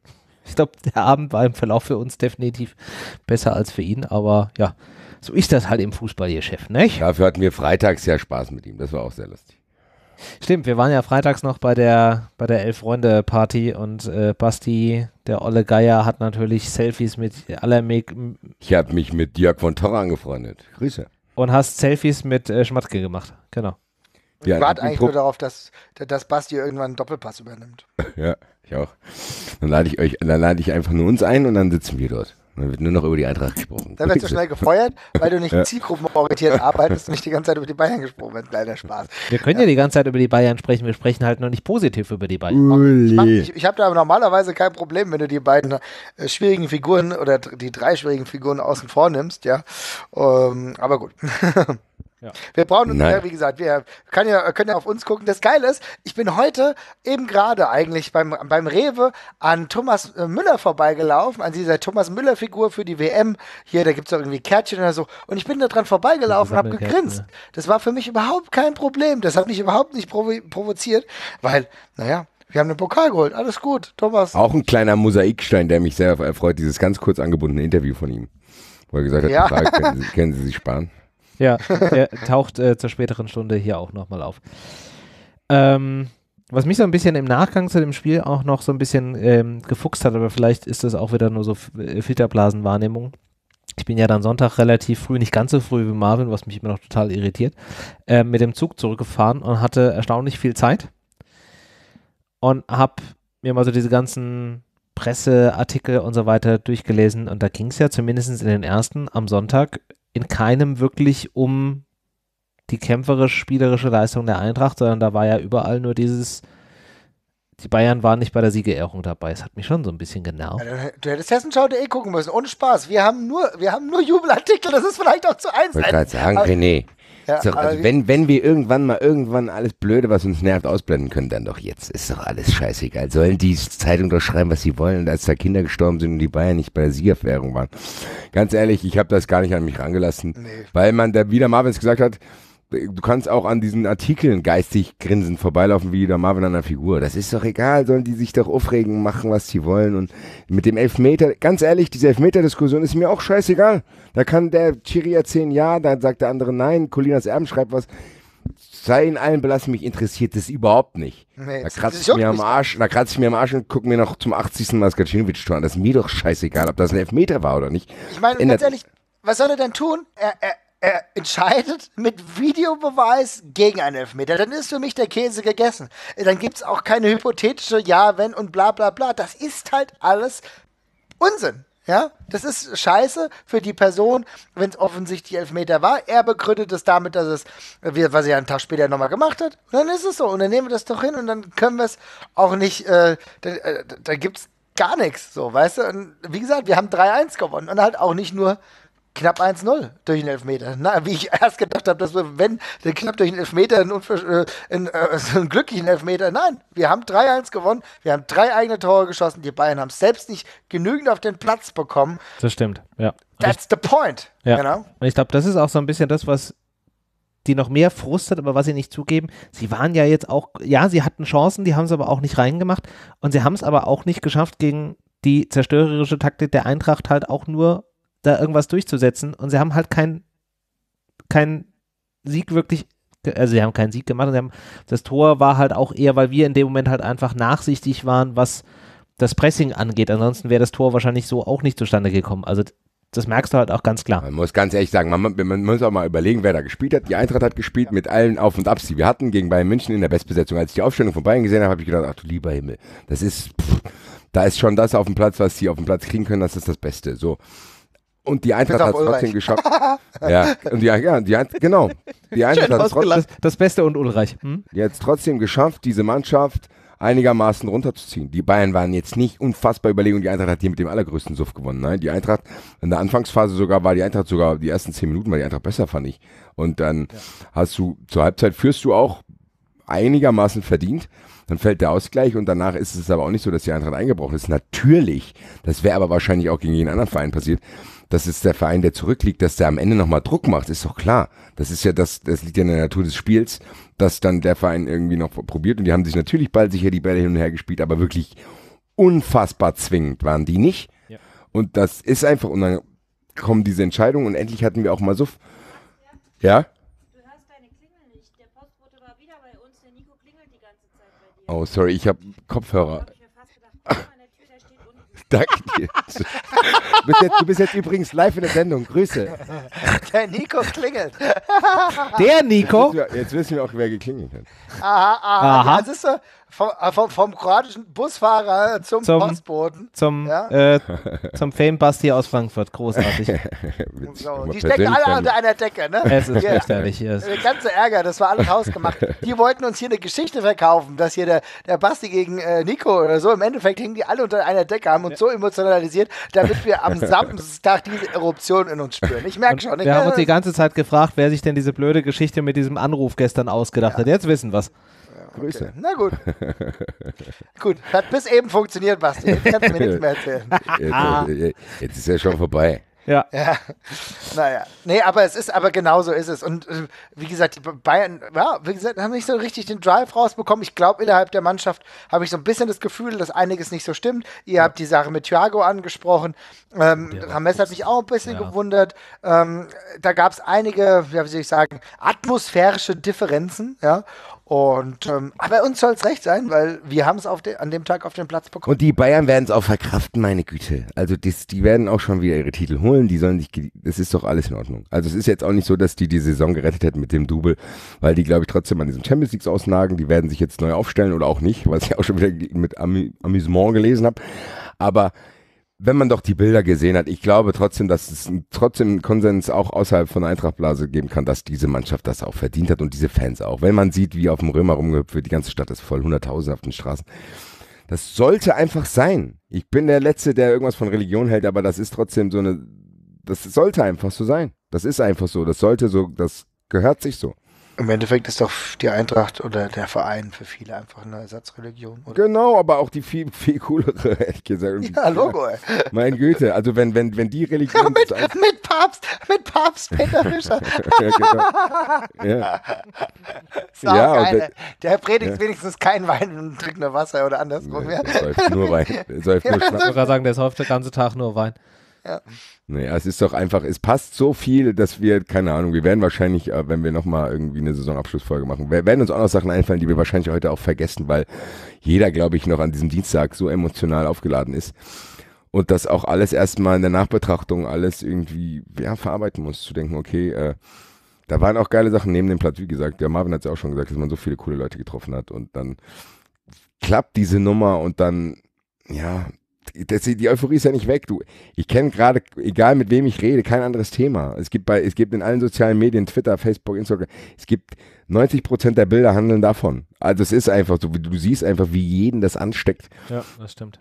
und das, das wird ist- noch lange nachhallen. Genau, und nochmal ganz kurz zu der äh, Thematik, die René angesprochen hat. Natürlich gibt es diese Schwachsinnsartikel, aber es gibt halt genau so viele gute Artikel. Das ist halt genau der Punkt.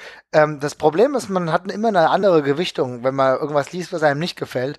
Und dann äh, tendiert man, glaube ich, dazu, das höher zu gewichten, als das, die Sachen, die einem gefallen. So, weißt du, das ist oftmals so. Und ich glaube, das, äh, Max, der Max hat es ja auch genauso gesehen wie du, ne? dass immer äh, viel negative Berichterstattung natürlich halt auch so ein bisschen ausgelöst, die, da, dadurch, dass halt Leute Klicks erzielen wollen und du äh, zielt, erzielst leichter Klicks mit negativen Reaktionen, anstatt mit positiven oftmals. Aber dann kannst du natürlich, aber wenn du es richtig gut machst, wie jetzt der Artikel, den wir nachher noch verlinken werden, so mit Freunden und so weiter und so fort, wenn du das so emotional die Leute packst, dann packst du die halt auch mit was Positivem.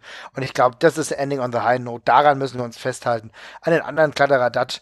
Äh, Weil Leute müssen irgendwie sehen, was wir schreiben und es gibt, deswegen gibt es auch genügend Schwachsinnsartikel, wo Leute da über, über die Ge- Ge- Gefährder in der Kurve schreiben und total undifferenziert irgendwelche drei Zeilen aneinander klatschen. Man muss auch überlegen, wahrscheinlich sind die Leute, die äh, dann noch nüchtern waren um die Uhrzeit, äh, haben eh nicht so viel Ahnung von der Materie, glaube ich.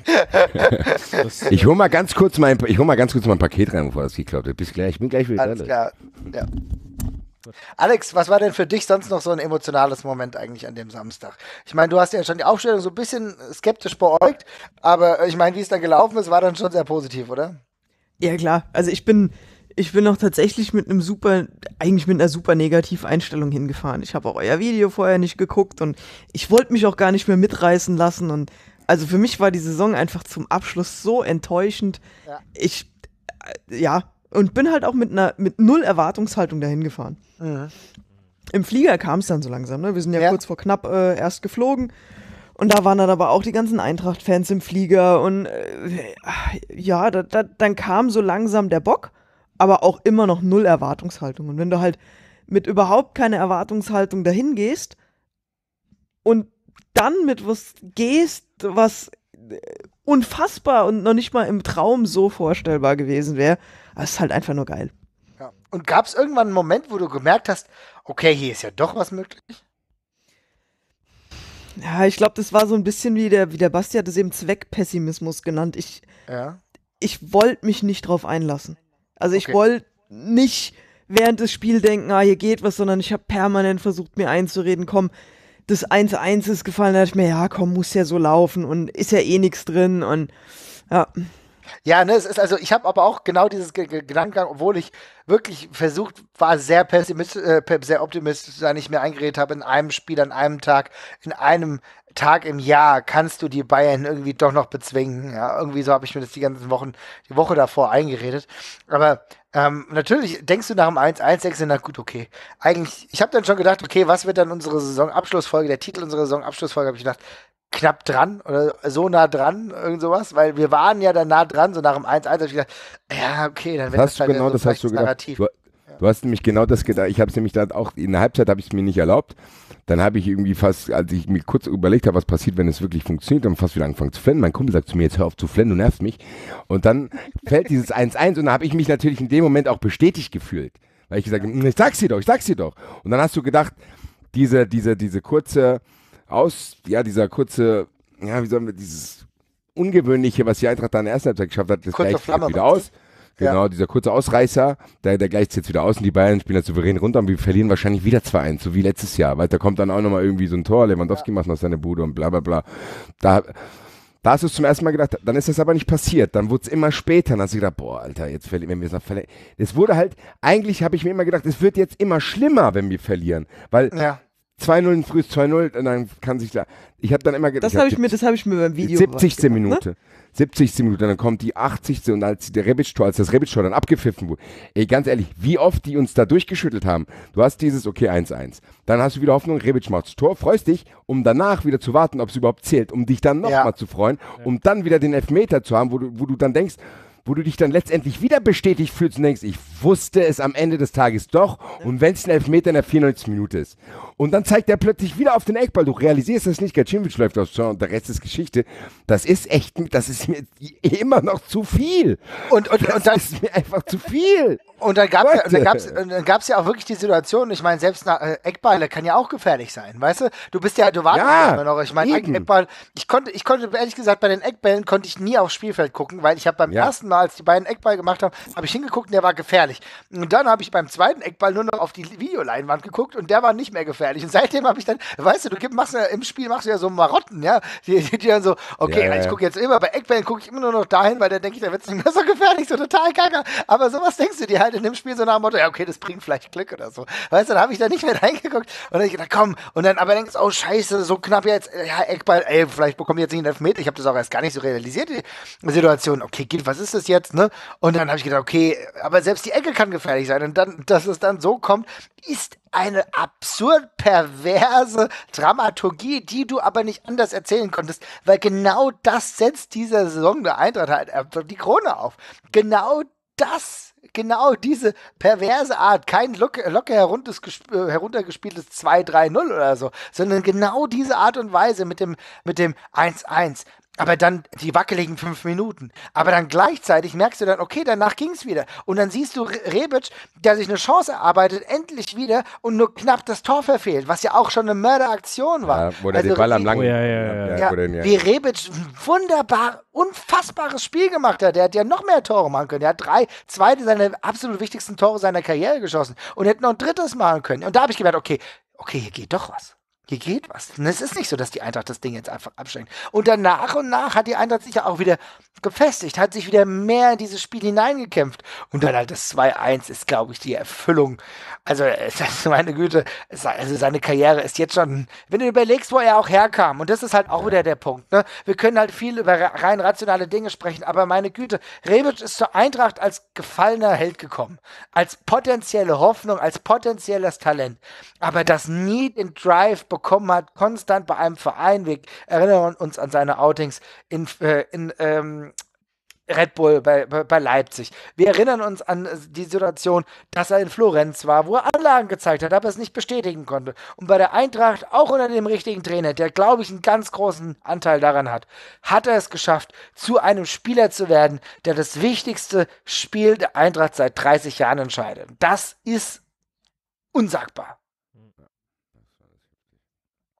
Das ist halt einfach diese Geschichte, die das Spiel dann wirklich erzählt, mit dieser Dramaturgie, mit diesem, oh, zweimal kommt jetzt der VAR und dann in der 96. Minute schießen wir dann noch das Tor. Alter, das ist natürlich krank. Ja, es ist, Ja, wobei aber alles so, ne, also es, wenn du, äh, wenn du, wenn du weißt, in der 94. Minute, du spielst gegen Bayern und dann kommt der Videoassistent, dann rechnest du niemals damit, dass gegen die Ja. Bayern entschieden wird. Ja, du genau. rechnest immer mit Ja. Dem Bayern-Dusel und äh, die Bayern, die in der letzten Minute immer noch mal irgendwie äh, so ein dreckiges Ding ins Tor bekommen, obwohl sie 93 Minuten Scheiße gespielt haben. Da- Das ist das, womit du rechnest und du rechnest nie damit, dass die Eintracht das Quäntchen Glück hat und dass die Und das- Eintracht ja. wohlgesonnen äh, im, im Schiedsrichtergespann ist und äh, damit rechnest du nicht. Aber umso geiler ist es dann, dass halt dann dieser Konter passiert und ich wollte gar nicht, ich wollte gar nicht, dass Kacinovic schießt. Ich habe so gedacht, Alter, bevor du jetzt schießt, lauf mit dem Ball einfach ins Tor, wie du das manchmal bei so NES-Spielen gemacht hast, wo du nicht mehr genau wusstest, Ja, ja, wie ja. ich schieße. Aber Nintendo du kannst auch hinlaufen. Nintendo ja, genau. Fällt mir jetzt, da fällt mir jetzt gerade der, der Lauf von Abraham ein, der auch einfach mit dem Ball nach vorne Das gelaufen war so geil, ist. der wusste nicht, was er Ja, machen ja. soll. Und auf einmal, es ist aber auch keiner mitgelaufen, ne? Also ich meine, Haller, er hätte ja einfach nochmal lossprinten können, um dabei zu sein, aber der ist halt irgendwie so hinterhergetrabt und ich glaube, der hat sich auch die ganze Zeit nur gefragt, Abraham, was machst du da? Also, ne? Und, und der steht auf einmal hinten an der, an der Linie und denkt so, ja, und nu? Ja. Ja, es war auch alles. Es war alles auch hervorragend. Es war einfach, das waren so viele Kleinigkeiten. De Guzman hat für mich auch gut gespielt. Der hat trotzdem eine Ballsicherheit und alleine für Standards war ich traurig, dass er dann ausgewechselt wurde, weil ich immer das Gefühl hatte, wenn er einen Eckball hat, da geht immer was. Da waren ein paar, die, die, kamen alle scharf rein. Es waren so viele Sachen, das ist alles irgendwie. Und Ja, Genau. wobei, da, waren da, da war dann aber auch wieder der Moment, wo ich mir dachte, und was, und jetzt kommt Russ? Genau, aber jetzt Was ist denn genau, das für ein Wechsel? Da sagst du genau, das habe ich auch gedacht, ah, Russ, okay, wobei er spielt ja dann vielleicht nicht in der Innenverteidigung. Und aber ehrlich gesagt, ja, aber jetzt kam Russ. Und wenn du überlegst, was das auch für ihn für eine Geschichte ist, ne? Ja, für, ja. für jemanden, der bis auf seinen, ja, wie soll ich sagen, Aussetzer, ja, gedanklichen Aussetzer in Wolfsburg, ja, ähm, so lang für die Eintracht gespielt hat, jemand ist, der als einer der wenigen nicht nur die Eintracht Sozialisierung bekommen hat, sondern auch die Jugendarbeit mitgemacht hat, der hochkam, der auch schon das, äh, die, die, das Pokalfinale 2006 mitgemacht hat. Das ist sein drittes Pokalfinale gewesen als im Trikot der Frankfurter Eintracht. Der Abstieg, Abstieg und dann noch Krebserkrankung, macht er ein Eigentor und so weiter und so fort. Zum Glück gerade noch die Klasse gehalten, aber der lange Weg zurück, wo wir dann immer schon gedacht haben, wo ich auch gedacht habe, ja, okay, der Russ, ja, ist jetzt auch nicht mehr Bundesliga tauglich, das wird jetzt nichts mehr, aber der hat sich ja auch in dieser Saison wieder zu einem Spieler entwickelt, der wichtig war. Und äh, er hat selbst in diesem Spieljahr noch seinen Stempel aufgedrückt und wird dann auch zu Recht eingewechselt und kann seine Karriere, auch seine Karriere, damit ein für alle Mal vergolden, wenn du überlegst, welche Geschichte auch allein an dieser Person erzählt wird. An, an diesem Spieler, der wie kaum ein anderer so lang bei der Eintracht war. Ja, das ist schon, auch da ist Gänsehautpotenzial vorhanden. Ja, äh, mehr, mehr als vorhanden, würde ich jetzt mal behaupten. Das ist einfach Das war schon sehr, sehr viel. Alter. sehr, sehr großartig alles. Das ist schon. Ja. Haben wir noch was vergessen, was wir zu diesem Pokalspiel sagen müssen? Wahrscheinlich könnten wir jetzt noch Wahrscheinlich 43 Wochen darüber reden, aber Es wird auch nicht das Ja, letzte Mal sein, dass wir darüber sprechen. Ich könnte da jetzt stundenlang. Ja, ähm, ich glaube, im Endeffekt könnten wir halt ja wahrscheinlich über jeden einzelnen Spieler. äh, Ganz, äh, ja, und Könnt natürlich. ihr auch das ganze Spiel von mir aus mit euch nochmal jetzt schauen, das nochmal kommentieren? Ja. Ich habe es jetzt schon zweimal nochmal gesehen. Ja, auch. Also echt. Nach dem hab das nächste Mal Stadion wieder- wieder- dann noch zweimal aufgenommen. Es ist halt einfach obergeil. Gut, mittlerweile spule ich, spule ich so erste Halbzeit, zweite Halbzeit den Anfang immer ein bisschen vor. Mhm. Ja. ja, schon. Ja, Auch dieses genau. Video von dem, von dem, habt ihr das mit dem äh, amerikanischen Fox-Kommentator, war das, glaube ich, ge- habt ihr das Video gesehen? Habt ihr das gehört? Mhm. Ja, hab ich Das ist auch geil, das ist auch geil. There's no goalkeeper, there's no goalkeeper, das ist auch so geil. Das sind einfach so viele geile Sachen. Diese ganzen Videos vom Römer auch, das ist auch so geil, da kann ich Ja, mich ja, und auch- alles tausendmal anschauen. Genau, und aber auch ganz ehrlich, die ehrliche Freude, natürlich hat mich das geärgert, dass Radetzky, dieser scheiß Radetzky hin und her wechselt, Theater, bla bla bla. Aber wenn ich den dann auch sehe und das hat mich, ja, keine Ahnung, das war ehrliche Freude, die ich da in seinem, in, in seinem Gesicht gesehen habe. Und ganz schön viel Alkohol. er, ja, war, aber, er, er war ja mega rotzevoll. Aber es ist halt ein authentischer Typ so. Ja, das finde ich stimmt. geil, dass ich eine Authentizität bei den Spielern erkenne, dass ich nicht dieses abge, abgemachte, abgehalftete Ding, ja, wir machen jetzt unseren Stiefel und im Endeffekt kassieren wir nur Geld. Nein, das ist pure echte Emotionen bei jedem Einzelnen. Das finde ich geil. Also es ist, also diese ganze Römerkacke da, das war herausragend geil. Also ich muss echt sagen, wir haben gefeiert und dann mit der Pyrotechnik und auch überall dem Römer ging's rund und so weiter und so fort. Das war, da war Freude dabei, da waren ausgelassene Kids. Ich meine ganz ehrlich, wir, was wir jetzt gerade ignorieren, weil wir ja logischerweise alle nicht da waren, aber schau dir mal Bilder an, wie das in der Commerzbank Arena rundging. Da waren halt, da waren auch viele Leute, die haben auch gefeiert. Da, das, die Stimmung, habe ich mir sagen lassen, war richtig gut, ja. wie geil das ist. Also ich meine, guck mal, wie viel Potenzial an Fans du dann eigentlich hast. Und das ist der nächste Schritt, auf dem die Eintracht aufbauen kann. Und jetzt bin ich schon wieder angefixt. Ich versuche das immer innerlich zu vermeiden, dass ich sage, okay, weißt du, ganz ehrlich, Eintracht ist ja für mich auch immer ein Verein, mit dem ich hadere, weil ich nie so wirklich gesehen habe, dass wir eine konstante Entwicklung nach oben gemacht haben. Aber jetzt ist die Ausrede gilt nicht mehr. Wir haben die konstante Entwicklung jetzt gemacht. Wir haben es geschafft, unter Kovac uns von jemandem, der ganz knapp abgestiegen ist, zu jemandem entwickeln, zu entwickeln, der eine gesicherte Tabellenposition auf der einen Seite und das Pokalfinale erreicht und jetzt sogar ein Pokal geholt hat und nach Europa kommt. Ja, das ist eine Entwicklung. Da, da kann ich mich nicht, da kann ich nicht weggehen. Das ist eine Entwicklung, eine positive. Und darin müssen wir jetzt ansetzen. Und ich bin jetzt total angefixt, dass die Eintracht es schafft, den nächsten Schritt zu gehen. Ja, äh, tut mir leid, jetzt, jetzt, äh, jetzt geht es bei mir schon wieder rund und jetzt denke ich schon wieder an Europa. Und jetzt denke ich, ja, wir machen da den nächsten Schritt. es muss immer weitergehen. Ach ja, es ist geil. Das ist einfach nur schön alles. Das ist alles, alle, alle Begleiterscheinungen sind einfach, das ist einfach so hervorragend. Das ist gibt gar nicht so viele Wörter, die das irgendwie beschreiben können. Das ist einfach. einfach ist auch geil, jetzt durch die Stadt zu gehen. Ne? Ich war gestern am Welchestag. Es ist halt auch einfach obergeil. Überall laufen die Leute jetzt in Eintracht-Trikots rum und wenn du dann selber mit einem Pokalshirt oder so entgegenkommst, dann kriegst du auf einmal, wirst von Leuten abgeklatscht, die du überhaupt nicht kennst. Leute fangen spontan an, äh, deutscher Pokalsieger zu singen und so und die ganzen Bedienungen, die tragen alle Buttons mit, mit der Eintracht drauf. Das ist hab halt ich auch beim Rewe heute gesehen. Sau krass, habe ich heute auch beim Rewe gesehen. Ja, genau, sorry, ja. Erzähl ruhig weiter. äh, das war es eigentlich. Ich wollte einfach nur sagen, wie geil das gerade ist und, und wie man merkt, wie die ganze Stadt einfach komplett mitgeht. Ja, es ist halt nicht zu fassen. Das ist halt diese ist- Stadt auch. Die Eintracht Ja. war vorher auch schon geil. Das ist trotzdem so. Egal wie sehr die uns als Fans genervt hat, die Eintracht war trotzdem geil. Die Eintracht hat immer geile Auswärtsfans gehabt. Die Eintracht hat auch immer ihre Geschichte gehabt, dieses Trottelige und wir hatten aber auch immer unsere Momente. Aber das war, das hat alles getoppt und dann hast du einfach, dann sind alle diese Sachen, wo du eh schon wusstest, dass das hier geil ist, das ist alles sichtbar geworden plötzlich. Das ist alles sichtbar geworden in dem Sinne, dass du sagst, ey, diese Mannschaft ist auch geil. Das sind Spieler, die, ja, ich würde Rebic gerne aufessen. Das sind geile Typen auch. Ich würde, wie die wieder da sich reinwuchtet, Boateng, ihr habt ja alles schon gesagt. Dann, wie, die, wie der Marvin das auch gesagt hat, dieses Bruder, äh, schlag den Ball lang. Das sind Sachen, die reden wahrscheinlich wirklich so in der Kabine und äh, wie hier in Frankfurt im Fußballverein wird genauso geredet. Das ist einfach, dass diese, diese Spirit, den diese Mannschaft verkörpert, auch diese Internationalität und diesen Zusammenhalt und gleichzeitig, was du mit diesem Zusammenhalt erreichen kannst, das spiegelt schon ein bisschen die Stadt hier wieder. Das ist trotzdem, Frankfurt ist trotzdem eine Stadt, wo auch so außerhalb vom Fußball viele coole Sachen passieren. Das ist einfach, Frankfurt ist einfach irgendwie eine geisteskranke Ruffe, auch manchmal ekelhaft, aber eigentlich ist es wahrscheinlich wirklich die geilste Stadt in Europa. Und dann hast du diese Fans und dann hast du noch diesen Moment und du bist mit 30, 40.000 da in diesem Olympiastadion, Hunderttausende hier, auf der Autobahn hupen dich alle an. Das ist einfach, das ist schon nicht so zu vergleichen mit vielen anderen Sachen, finde ich. Das ist einfach auch, wenn ich es objektiv betrachten würde, was sehr, sehr, sehr, sehr Besonderes und das bestätigt ja, was der Marvin gesagt hat, dass das auch Fans von anderen Vereinen, nicht nur Bayern-Fans, aber auch andere, die sich mit mir gefreut haben. Grüße an die Union Berlins-Fans, mit denen die Freitagabend auch beim Ja. bei der. Elf-Freunde-Feier waren.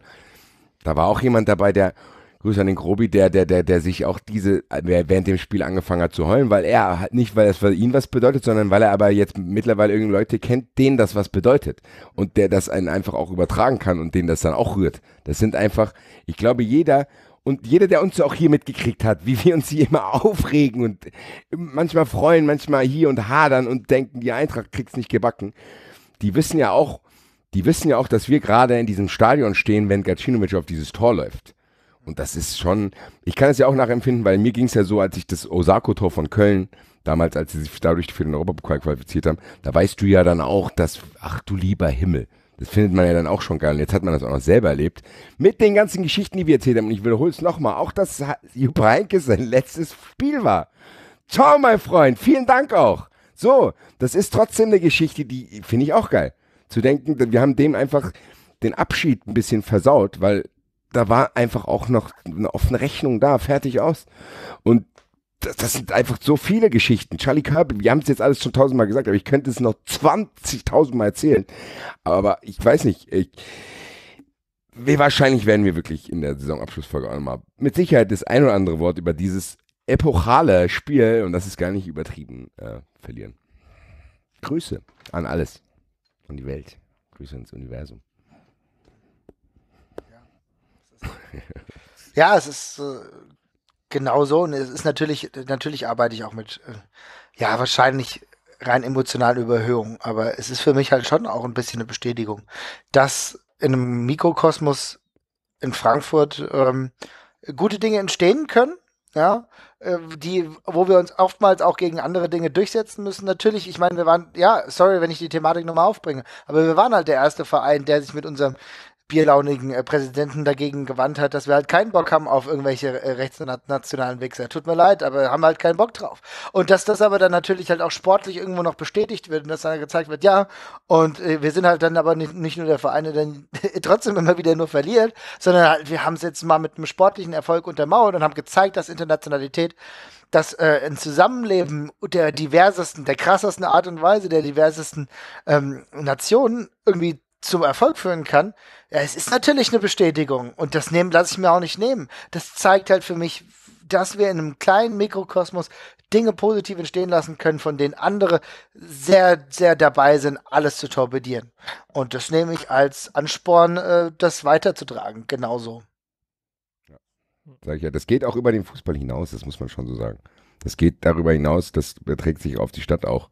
Das ist ja auch außerhalb vom Fußballstadion nimmt das Form an, die für den Zusammenhalt auch und identitätsstiftend sind in einer guten Weise. Und für viele, viele, viele Leute. Und es werden ganz schön viele Neuanmeldungen ankommen. Das sage ich dir. Das, das, und das müssen wir auch positiv honorieren. Da heißt ja nicht, ja, Erfolgsfans und so. Das ist halt einfach so. Als Kind gewöhnst du dich, äh, äh, bekommst du natürlich immer was mit, wenn du irgendwas Besonderes erlebst. Und viele Kinder, sei es, ob die jetzt acht oder neun oder was weiß ich, 13 sind und dann vielleicht zum ersten Mal eine Fußballsozialisierung genießen, ja, weil sie, wenn sie vielleicht nicht von Haus aus haben, die sagen, ach geil, diese Eintracht, das gefällt mir. Und die werden jetzt angefixt.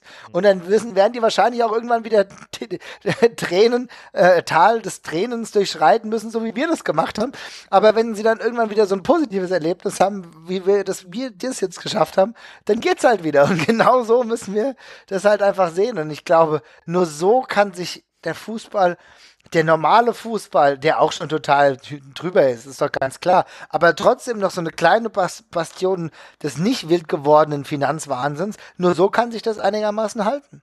Sollen wir mal nach vorne gehen und mal noch so auf ein paar andere Themen schauen, weil Frau Alex muss ja dann auch gleich noch äh, Ja, Logo. hinfort. Ähm, So sieht's aus. einen haben wir noch zum Abschluss. Um, I heard Bayern lost. but I think that's not too important for us. Den musste ich da einfach rausschneiden, der ist großartig. Es spricht natürlich auch für die Person Jürgen Klopp trotzdem. Ich feiere den auch. Ich weiß, viele mögen ihn, ich bin großer, großer Fan. Ja. Und wenn ich mir überhaupt noch vom Fußballgott weitere Kirche äh, aussuchen dürfte, dann, dass er jetzt noch die Champions League gewinnt. Habt ihr das- die Den, den drum. Tweet, Habt ihr das ich gelesen, gerade den, ich, den ich retweetet habe gestern? Ja, Ja, ja. Ist ja auch, ist ja auch geil. Also da hat irgendeine, keine Ahnung, ich habe den Typ, ich, äh, ich habe so eine Frankfurt-Suche, ne? So eine Frankfurt-Suche bei TweetDeck, wo ich immer so grob überschaue, was irgendwie so gerade in Frankfurt passiert. Naja, halt auch wegen, wegen der Arbeit. Und dann, kann, weißt du, kann ja auch sonst irgendwie Unfall oder sowas sein. So, und dann, und dann schaue ich und dann kommt dann dieser Tweet, wo dann steht, ja, also, ähm, Ich auch. interessante, Soll was? ich? Ja, dann mach halt du. 1981 erstens Royal Wedding, zweitens Frankfurt hat den DFB-Pokal gewonnen, drittens London, äh, ein London-Club gewinnt den FA Cup, viertens Liverpool äh, besiegt Real Madrid. 2018 Royal Wedding, Frankfurt hat den DFB-Pokal gewonnen, London Club hat äh, den FA Cup gewonnen. Rate, was vier ist. Mhm. Das wäre auch schon cool. Sie, Sie hörten es hier zuerst. Kann schon sein, ne? Alle schnell ins Wettbüro. Also ich meine, mit, dem FA Cup oder London Club ist natürlich jetzt schon ein bisschen hin, hinzugesponnen, aber allein wenn wir diese drei Dinger nehmen, also mit der Royal Wedding und, und gerade ein Eintracht-Pokal, sie kannst du nicht wirklich gut planen. Also das ist schon ziemlich geil. Schwierig. Und dass du genau das gleiche Finale hast, ist natürlich auch ganz geil. Ganz, ja, natürlich. Ich glaube, Grüße gehen vom Eintracht-Podcast raus an Jürgen Klopp. Ich glaube, der hat hier sehr viele äh, Supporter. Definitiv. Definitiv. Ähm, wenn wir schon gerade bei der Thematik Trainer sind, da war ja noch diese Geschichte ähm, vor dem Pokal. Ähm, Ja, das machen wir bei, beim Saisonabschluss, würde ich sagen. ja, aber wir sollten es ja trotzdem hier einmal kurz äh, erwähnen. Wir haben einen neuen Trainer und äh, alle Witze zum Namen und äh, Herkunftsland sind gemacht worden, die muss keiner mehr machen. Marvin hat es Aber gesagt. weißt du, was gut ist? Weißt Ja. du, was gut ist? Adi Hütte hat internationale Erfahrung, der hat schon Europacup gespielt. Und er hat Dennis Zakaria entwickelt, also das kann auch nicht falsch sein. Grüße. Aber gut gesagt, ich, dafür habe ich jetzt keinen Kopf. Also von mir will Ich wollte es nur der Vollständigkeit halber erwähnt haben. Marvin hat es schon angeteasert. Wir machen nochmal eine Saisonabschlussfolge. Und da werden wir uns ganz intensiv mit äh, all diesen Themen beschäftigen. Aber das hat noch ein bisschen Zeit. Da müssen wir jetzt erstmal noch ein bisschen für runterkommen. da kommt ja auch noch immens viel, aber ja, genau. Also, Ja, aber so ein Päuschen brauchen wir dann auch irgendwie. ja, auf jeden Fall. Da ist äh, Energiemangel, würde ich es jetzt mal freundlich umschreiben. Was definitiv kein Energiemangel hat, äh, sind unsere Dummschwätzer der Woche. I'm a fan. Danke, danke, danke sehr. Aber es ist dann auch wie im richtigen Leben, jede Kopie ist leider nicht so gut wie das Original. Ich musste jetzt gerade wieder an das äh, Bild auf, dem, auf der Videoleinwand denken, wo sie Hoeneß und Rummenigge gezeigt haben nach dem Abpfiff, wo sie beide so total miesebrettrig da gesessen haben. Das ist auch Wie ein Bild, was ist ich mir 300 Mal anschauen kann. Wie geil ist es, dass die Eintracht endlich mal für positive Memes sorgt, ne?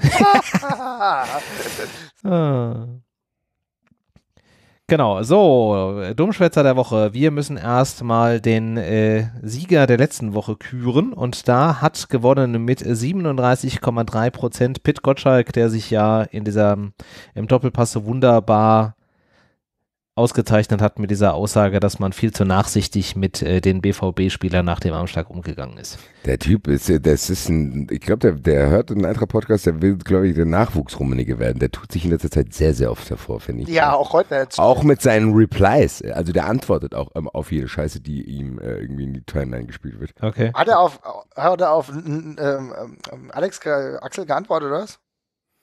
Der hatte, ich, also ich habe letztens hatte der, glaube ich, äh, verschiedenste Antworten, wo Leute gesagt haben, also er hatte, glaube ich, den Tweet auch noch, wenn ich jetzt seine Nominierung verstärken soll, hat er, was hat er geschrieben? Ultras sind für ihn die Verlierer der Saison.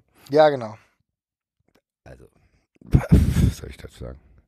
Was soll man für, für so eine Allgemeinerung auch sagen? Also was, was Ultras sind die Verlierer der Saison. Also was, was soll mir das sagen? Also, Ja. okay, cool. Ja. Grüße. An Sven, ach, ach, keine Ahnung, egal. Gut, dann haben wir wieder eine ganze Menge an Nominierten und äh, im Zuge dessen, dass äh, Frau Alex dann gleich weg muss, äh, darf sie ihre Nominierung gleich hier als erstes mal vortragen. Dann machen wir danach die ganzen Hörernominierungen. Ja, auch wenn, äh, auch wenn ihr alles sagt, man sollte lächelnd über die Reaktionen der Bayern hinwegsehen. Ähm, Thomas Müller kriegt von mir auf jeden Fall für sein grandioses Interview eine Nominierung für den Dummschwätzer der Woche. René, hast du das als Einspieler oder? Nee, ich habe es äh, leider nicht als Einspieler. Das kam zu kurz vor der Sendung. Ja, äh, er wurde äh, gefragt, ob die Eintracht jetzt der verdiente Sieger ist des äh, DFB-Pokals. Ja, daraufhin hat er nur geantwortet, äh, die Frage hätte er mir jetzt nicht stellen müssen, ne? Das muss ich sagen, in, aus meinem Körper ist viel Hass rausgeflossen, auf, bei ihm hält es noch an. Das ist die beste Umschreibung ever. Gut, dann gucken wir noch mal, was äh, die Hörer uns geschickt haben. Übrigens ganz großartig, was wir jetzt so an Feedback alles ähm, im Vorfeld der Sendung oder auch nach dem Pokalspiel bekommen haben. Ich habe, wir haben glaube ich drei oder vier ewig lange E-Mails äh, bekommen. Die Mails vom Stefan haben ja mittlerweile schon Kultstatus, die kommen ja jede Woche.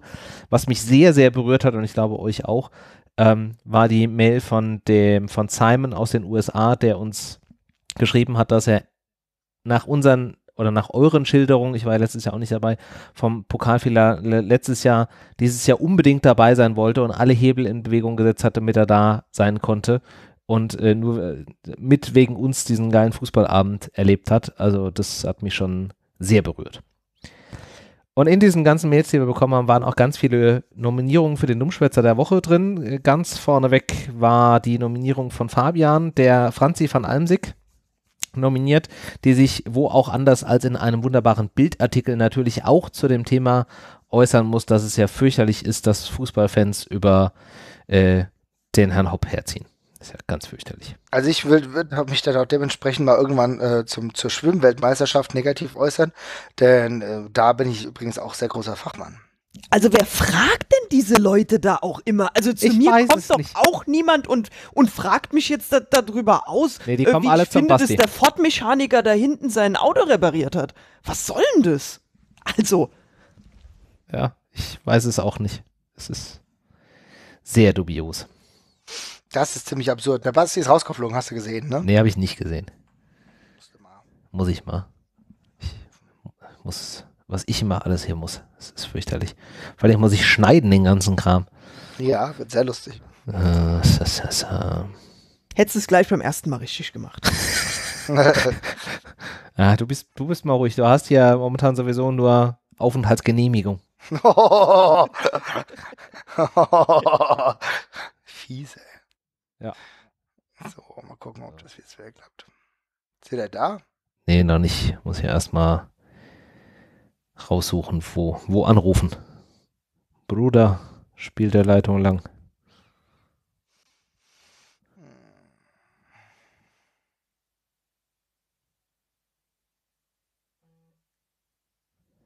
Es klingelt.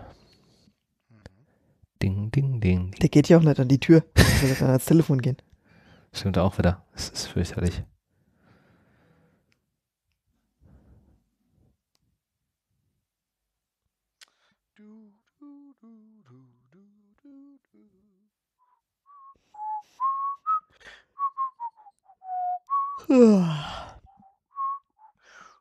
Frau Alex schläft ja gleich ein und äh, Marvin macht hier die Warteschleifenmusik. Ja, so muss es sein. Alex, welches, Ge- wohin gehst du jetzt? Solo. A Star Wars Story. Also die Verfilmung Das ist von die Verfilmung. Han Solos. Genau, Äh, das Prequel quasi. das was? Ja, das, was halt davor war, die Entstehungsgeschichte. Und das hast du Prequel genannt. Ja. Diese Hipster-Sprache ist unfassbar. Das ist halt normal, ganz normaler Ausdruck eigentlich, ne? Null. So, Basti muss neu starten, das dauert sonst jetzt lange. Dann machen wir jetzt den Rest ohne den Herrn Basti. Erstmal hier weiter, bis er sich wieder meldet. So, ähm, weitere Nominierung von unserem Hörer oder Hörerin, äh, alias Ass, und zwar Uli Hoeneß. Ach komm, wie kommt denn der da Das ist rein? ganz überraschend äh, für den wunderbaren Satz. Wir haben Nico ausgesucht, weil er wie Jupp das familiäre und menschliche hat. Das ist wichtiger, als wenn uns ein, äh, einer erklären kann, was eine falsche Neun oder eine flache Raute ist. Ja, großartig. Vielleicht äh, braucht ihr auch jemanden, der euch das mal erklärt. Wir wissen es nicht. Dann haben wir den nächsten, die nächsten Nominierten. Es ist eine Mehrfachnominierung oder eine mehrere Nominierung und zwar von dem Hörer Bembelguy, der sich äh, beschwert oder sagt, dass all die Twitter-Nasen, die die ganze Zeit über diese drei Cabrio-Fans am Haten waren, doch bitte mal ruhig sein sollen und chillen. Da muss es wohl einiges an Tweets gegeben haben, weil die sich Was dahinter. genau? Da ging es um die Fahrt vom Flughafen zum Römer und als sie in die Stadt reingefahren sind, hatten sich drei Fans hinten auf das, auf das Cabrio, auf dem äh, Bobic, Kovac und Hübner mit dem Pokal saßen, mit draufgesetzt und haben halt Selfies gemacht und sind dann noch ein Stück mitgefahren. Also ist jetzt auch nicht der Rede wert, kann man machen. Ich glaube, das war brutal gefährlich. Die hätten ja, ja, bewaffnet sein natürlich. Und dann Können. gab Muss es man mit rechnen. auf Wahrscheinlich Twitter das so Auto auch eingezündet. ein paar, die sich da irgendwie beschwert haben. Ja, du angezündet, das ist ja gar nicht, äh, gar nicht so unwahrscheinlich. Habt ihr das äh, kleine, äh, kleine Side Story, habt ihr die Geschichte mit den, mit den Belgrad-Fans mitgekriegt? Mit dem Bus oder? Genau, die die Meisterschaft irgendwie in diesem offenen Doppeldeckerbus fahren wollten und dann aus Versehen den Bus in Brand gesteckt haben.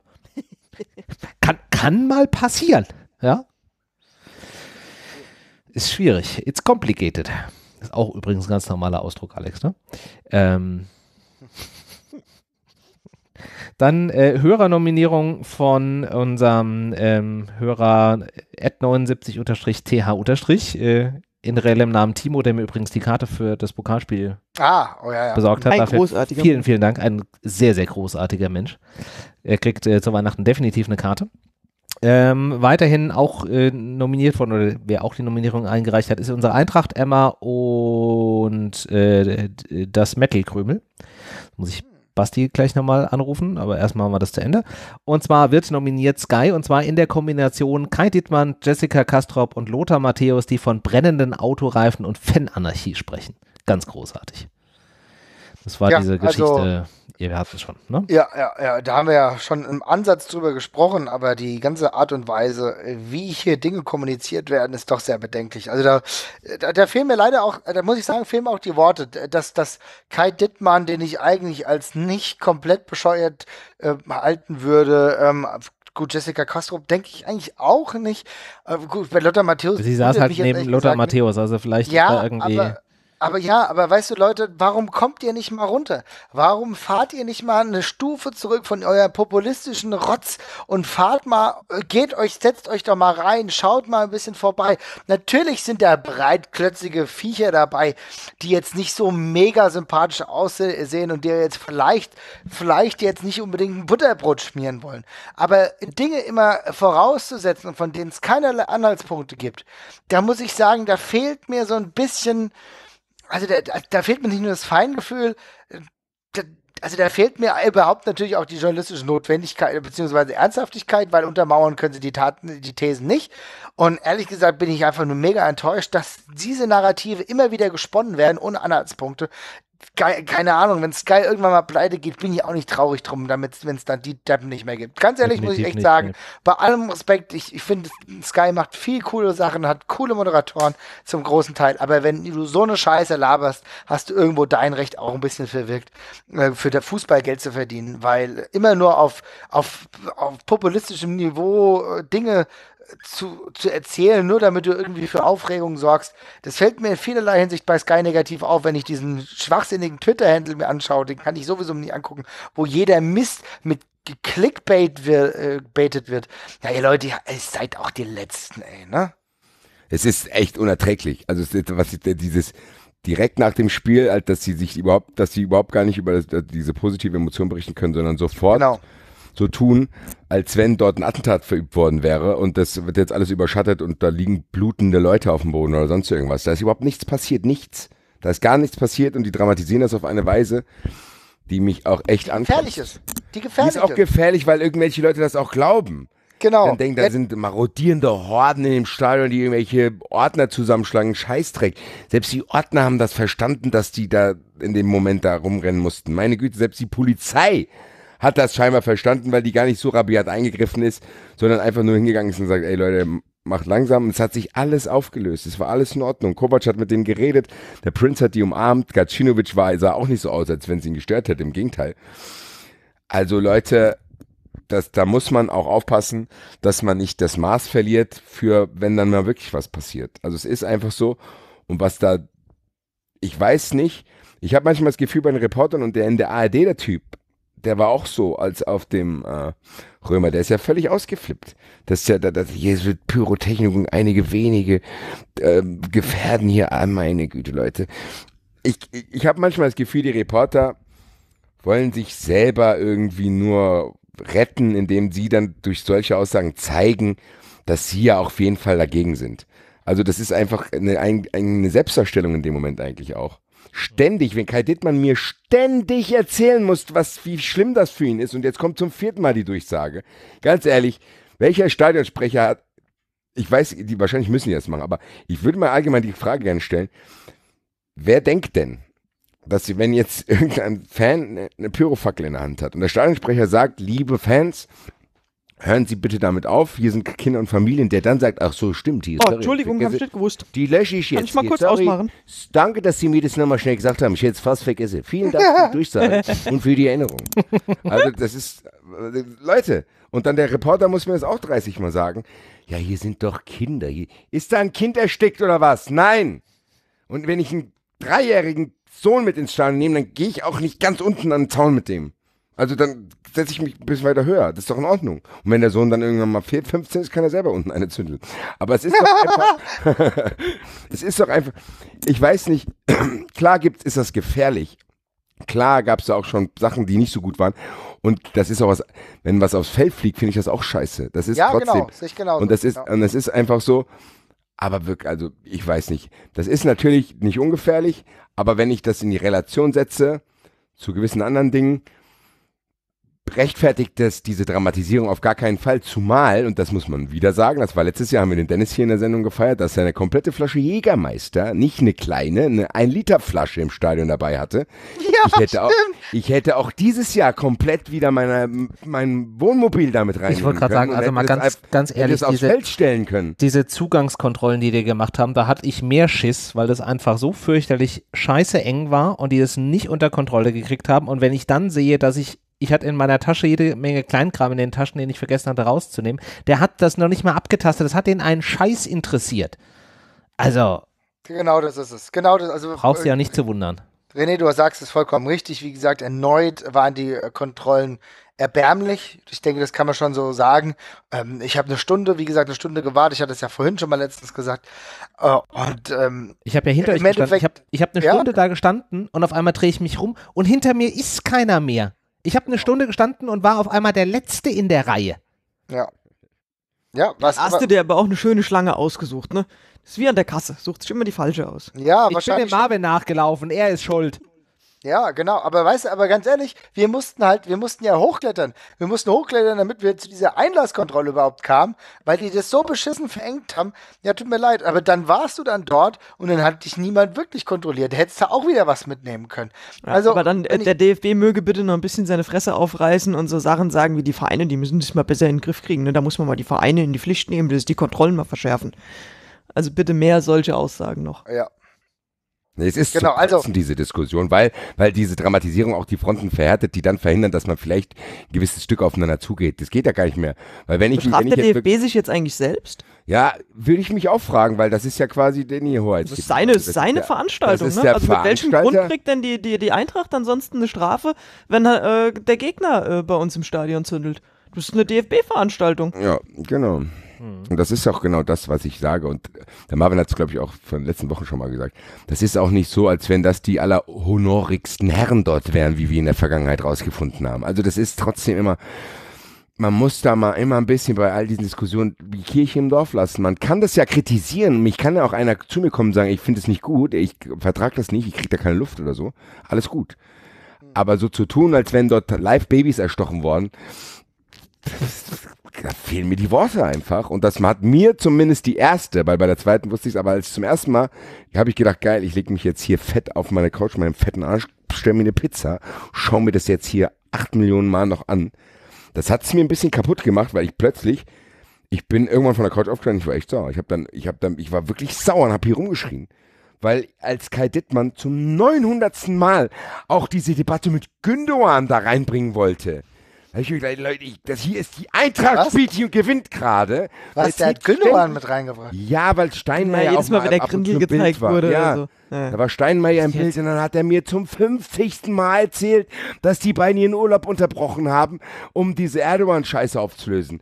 Diskutier bitte mit deiner Mutter darüber, Kai Dittmann, nicht, wenn die Eintracht gerade den Pokal holt. Was ist denn ist unfassbar. los, Alter? Total Ja. wahnsinnig. Und das immer diese Dramatisiert, das ist schlimm und jetzt wird hier auch noch gezündelt. Am besten hätte der gesagt, wir müssen die Übertragung hier abbrechen, weil er das nicht mehr erträgt. Also bitte, das kann nicht wahr sein, weil das macht mir das bisschen kaputt. Ich hoffe, dass es beim, ich weiß nicht, lief was auf der ARD oder ZDF mit Tom Bartels? Weiß ich gar nicht. Äh, Weiß ich nicht. Vielleicht gibt's da, vielleicht finde ich da auch noch einen Link von der Mediathek, wo man sich da auch nochmal das ganze Spiel Real Life anschauen kann. Vielleicht ist es da besser, weil bis auf äh, hier der Hauptmaster Philipp Hofmeister habe ich jetzt noch keinen geilen Originalkommentar gefunden, der mich recht echt flasht. Weil bei Kai Dittmann hast du in der Stimme schon gemerkt, dass es ihm ja fast gar nicht passt, was da passiert, weil das für ihn auch noch ein klarer Elfmeter war. Ja, also kann man echt nur sagen, hört euch lieber den Radiokommentar an. Ist sowieso eine ganz geile Angelegenheit. Ihr könnt euch ja das Spiel angucken und startet zeitgleich den Radiokommentar von Philipp Hofmeister. Ja, und dann macht das Ganze hier noch einigermaßen oder beziehungsweise noch viel mehr Spaß, weil ähm, ganz ehrlich, also dieser Kommentar, deshalb wusste ich gar nicht, das habe ich erst durch euch mitbekommen. Aber wenn die, Dietmar und selbst hier die Sky-Leute da so ausgetickt sind, dann ist es ja, naja, soll ich sagen. Also scheint es in der ARD-Mediathek oder so nicht zu geben. Ich glaube, die haben auch keine Lizenzen dafür, den Internetkram da zu zeigen. Ist ja auch wurscht. So, Frau Alex muss uns jetzt leider verlassen. Jawohl, ja. Die hat noch einen wichtigen Anschlusstermin. Es äh, war uns ein Fest und wir arbeiten dran, dass Frau Alex auch für die Saisonabschlussfolge wieder eine Aufenthaltsgenehmigung bekommt. I wish you would. Alles klar. Ciao. Hier noch einen schönen Abend. Tschö. So, der nächste Nominierte passt wunderbar in das, was Basti gerade eben ausgeführt hat. Und zwar nominiert von unserem Hörer ähm, Ed Fehler, festhalten, DFB-Präsident Grindel. Und zwar für die Aussage oder den Text, den er wohl gebracht hat auf der Das sieht schon wieder aus, Alter. auf, der, auf dem Parkett danach, ähm, dass die Eintracht doch bitte, äh, man, äh, wie ist hier so schön geschrieben worden, er hat der Eintracht ins Gewissen geredet, äh, sie möge doch bitte den deutschen Fußball würdig vertreten. Oh, hat er schon Angst, dass hier Gewaltbilder, hier Pyrorandal wieder gezeigt werden. Aber der hat keine Angst davor, wenn fünf Hoffenheimer irgendwo hinfahren und drei Leipziger, das ist, interessiert den nicht, würdig vertreten. Nö, bitte, bitte, bitte. Äh, ganz ehrlich, wenn er, nee, dann soll er das in, intern machen. Was soll das? Was soll das bitte? Ja, es ist immer diese Ps- Pseudo-Reinwaschung seiner selbst und gleichzeitig äh, das Anklagen von anderen Leuten. Er hätte ja mal mit seinem äh, Kapuff da mal für sorgen können, dass äh, ein klares Statement in Russland gesetzt wird. Man hätte ja theoretisch auch mal drüber nachdenken können, mit Regenbogenfarben-Trikots irgendwie aufzutreten in Russland. Hätten wir alles machen können. Ist alles nicht passiert. Da machen wir uns nicht verrückt, ne? Wenn da vielleicht irgendwie, wenn es da Probleme mit Homosexuellen gibt, wenn Andersdenkende unterdrückt werden oder so. Da fahren wir schön zur Fußball-Weltmeisterschaft. Ist alles kein Drama. Aber wenn, aber im eigenen Land dann äh, be- Fans, die natürlich Ecken und Kanten und auch ein paar Probleme äh, bereiten, ist doch ganz klar. Aber man, aber dann kann nicht alle über einen Kamm scheren. Aber da wird das dann skandalisiert. Aber selber, weil man ja irgendwie auch ein bisschen Angst um die ganzen Einnahmen hat, die man dann irgendwie bekommt. Und vielleicht will man ja auch mal wieder die Europameisterschaft ausrichten und eine Hand wäscht die andere und so. Ne? Nee, geh mir weg. Laber mich nicht voll mit so einer Ja, Scheiße. Du bist doch echt der Letzte. Die, der ganze Ja. DFB-Haufen ist wirklich der Letzte, Ja. der irgendwas sagen kann. Klärt die Dinge, die in den letzten Jahren ähm, so ein bisschen ans Tageslicht gekommen sind. Klärt die schonungslos auf. Und dann können wir drüber reden, ob ihr nochmal zu einer moralischen Instanz werden wollt oder werden könnt. Aber nicht, wenn ihr dauerhaft so viel eigenen Dreck am Stecken habt. Leute, Leute, Leute. Meine Güte. Also diese Aussagen, also, naja. In der Stunde des größten Triumphes. Was, so- also, was soll das denn? Weißt du, also, keine Ahnung, ey, wenn der Marvin jetzt im Lotto gewinnt und sagt, Basti, ich habe drei Millionen Euro gewonnen, drei Millionen Euro gewonnen, und das erste, was ich zu ihm sage, ja, aber gib nicht alles einmal aus. Also, weißt du, Genau. du denkst, Ja. kann ich mich auch erstmal kurz freuen oder nicht, Alter? Das sind diese Leute, die immer ständig was Negatives sagen müssen, egal wie gut es ist, Alter. Ja, so, Hier. so irgendwie, keine Ahnung. Geh dir ein. Eis kaufen hier, aber das sind ja nur zwei Bällchen. Ja, mein Gott, Alter. Geil, ich habe Muss 5 ja- Kilo abgenommen, aber da fehlen Ja. noch 20. Uh, Ja, es ist doch so. Es ist doch genau das. Ein bisschen, ein bisschen zu denken, oh, vielleicht ist es aber auch ganz cool, dass diese internationale Mannschaft, die diese internationale Geschichte erzählt, die sich als einziger gegen die AfD gestellt hat, das ist vielleicht ganz gut, wenn ausgerechnet diese Mannschaft die Eintracht in Europa präsentiert. Aber Ja. nee, das, das fällt ihm natürlich nicht ein. Es ist Nee, halt nee, auch, soweit. weiß ja, wo der Pappenheimer herkommt, insofern brauchen wir uns da eh. Ach, der soll kacken gehen, egal. Ciao. so, die Nominierung von Frau Alex hatten wir schon und dann haben wir noch ähm, eine Zweitnominierung und zwar aber diesmal für ein anderes Thema, nämlich wieder Lothar Matthäus, diesmal alleine. Nominiert von unserem Hörer at Mio Business und zwar für die wunderbare Aussage, ähm, die er dann auf äh, Sky Online, glaube ich, in seiner Kolumne beschrieben hat, dass die Entscheidung von Zweier natürlich eine klare Fehlentscheidung ist und dass sowas unverzeihbar ist. Wo ich mich auch frage, warum muss er sich jetzt dazu schon wieder äußern? Aber Wer hat sich geäußert? Lothar Matthäus natürlich. Ach komm, also ganz ehrlich, Lothar Matthäus. Ja, okay, alles klar, es ist Lothar Matthäus. Es ist, genau, es ist Lothar Matthäus, das ist, glaube ich, der einzige Grund, aber ansonsten hätte man es auch nicht gebraucht. Genau. Habt ihr denn noch äh, Dummschwätzer, die ihr nominieren wollen würdet? Äh, Ich habe keinen, es ist kein wirklicher Dummschwätzer, aber so eine, so eine Bodenlosigkeit.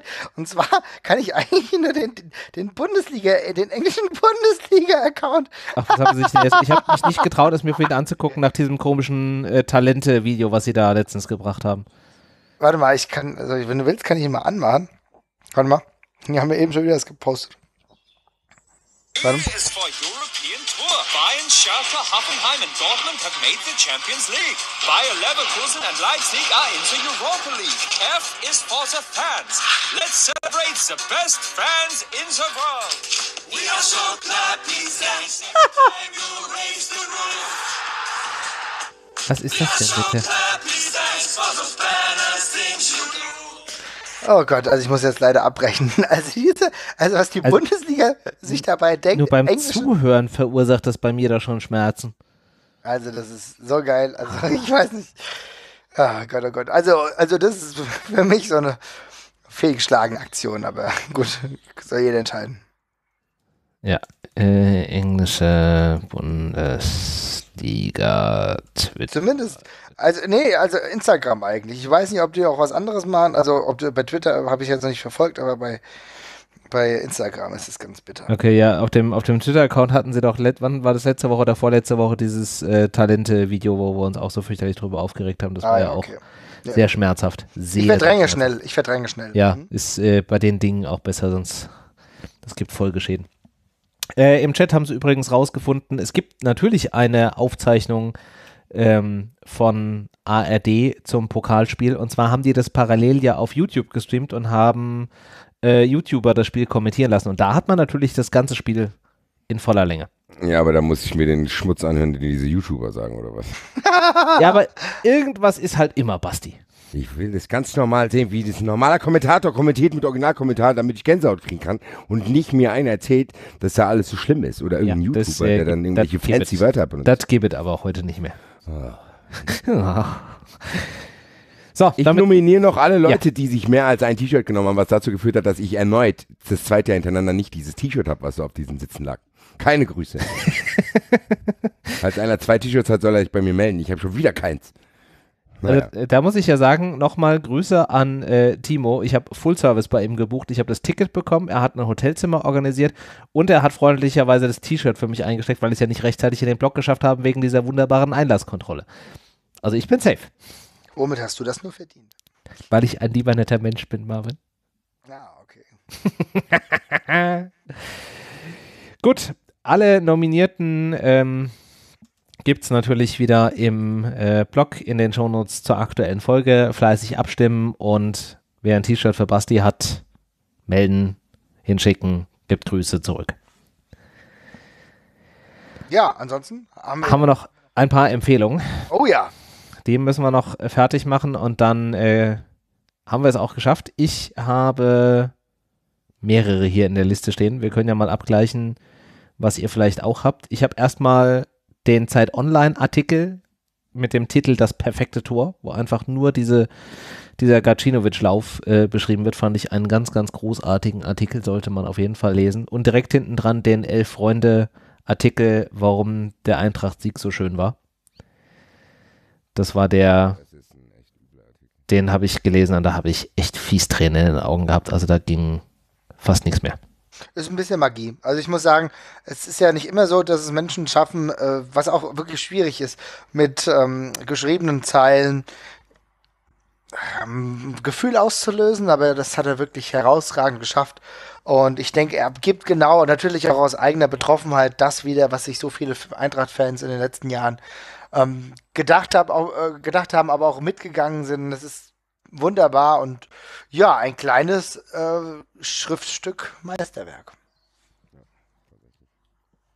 Muss ja auch keiner lesen, der kein Bay äh, der Bayern-Fan ist oder so. Aber für Eintracht-Fans ist es, ist es ein wunderschönes Stück und ich denke, auch die Eintracht hat es ja offiziell geteilt, schon zu Recht. Ja, das definitiv. Dann hatte Marvin vorhin noch was angekündigt, das sollte ich schon mal aufschreiben, er darf es aber jetzt hier selbst erwähnen. Ja, ähm, ich kann nur empfehlen, am Samstag um 19 Uhr im Hessenfernsehen reinzuschauen. Da haben die lieben äh, Kollegen was gemacht, beziehungsweise sind aktuell gerade dabei. Und äh, zwar Joscha Bartlitz und Olli Meier. Und die blicken volle 30 Minuten zurück auf den Pokal Samstag, was uns da erwartet hat, was uns, beziehungsweise was wir erlebt haben. Volle Packung Emotionen. Ich denke, da dürfte das ein oder andere Taschentuch noch ein bisschen feucht werden. Also Samstag 19 Uhr. Hessischen Rundfunk einschalten, HR-Fernsehen und ich nehme an, es wird auch danach dann in der Mediathek zu sehen sein.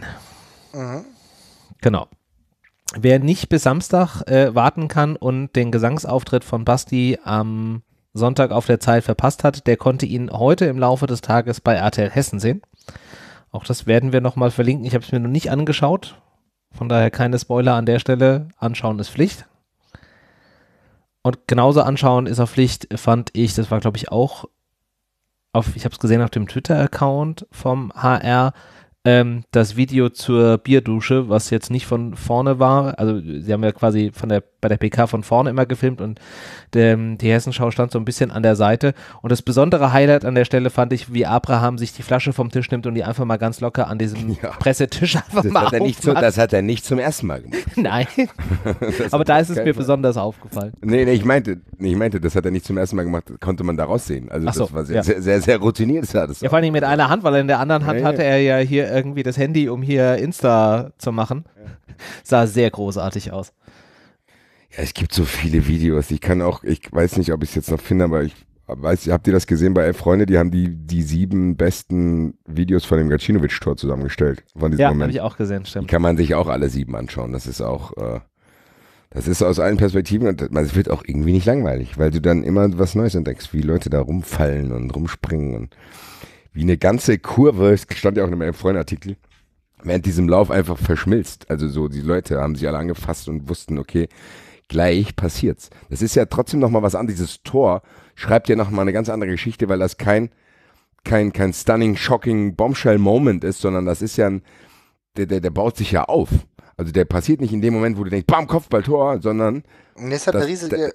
ja, das baut sich auf. Hm. Ja, das hat einen riesigen, das kannst du besser gar nicht und, erzählen. und eine Eruption wie so ein Vulkan halt. Das ist halt. Ja, ne? also ich meine, genau. es, es findet sein Ende in einer Er- Eruption ausgelöst durch das Tor, durch die Fans, die dann das Stadion im auch Endeffekt die Mannschaft, einreißen. die Mannschaft dort mitrennt. An der Und Seitenlinie, dabei- die komplette auch legendäre Szenen, ja.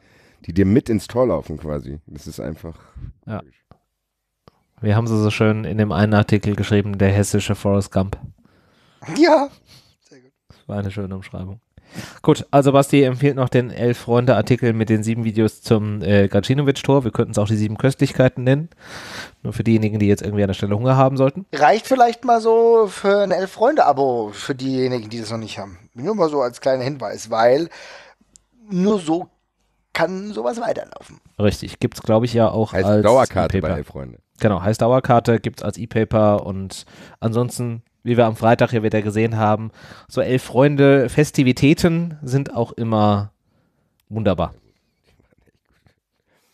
Genau. Hervorragend. Grü- Grüße. Grüße an all die Grüße an den Frank, der mich noch ertragen hat die ganze Zeit.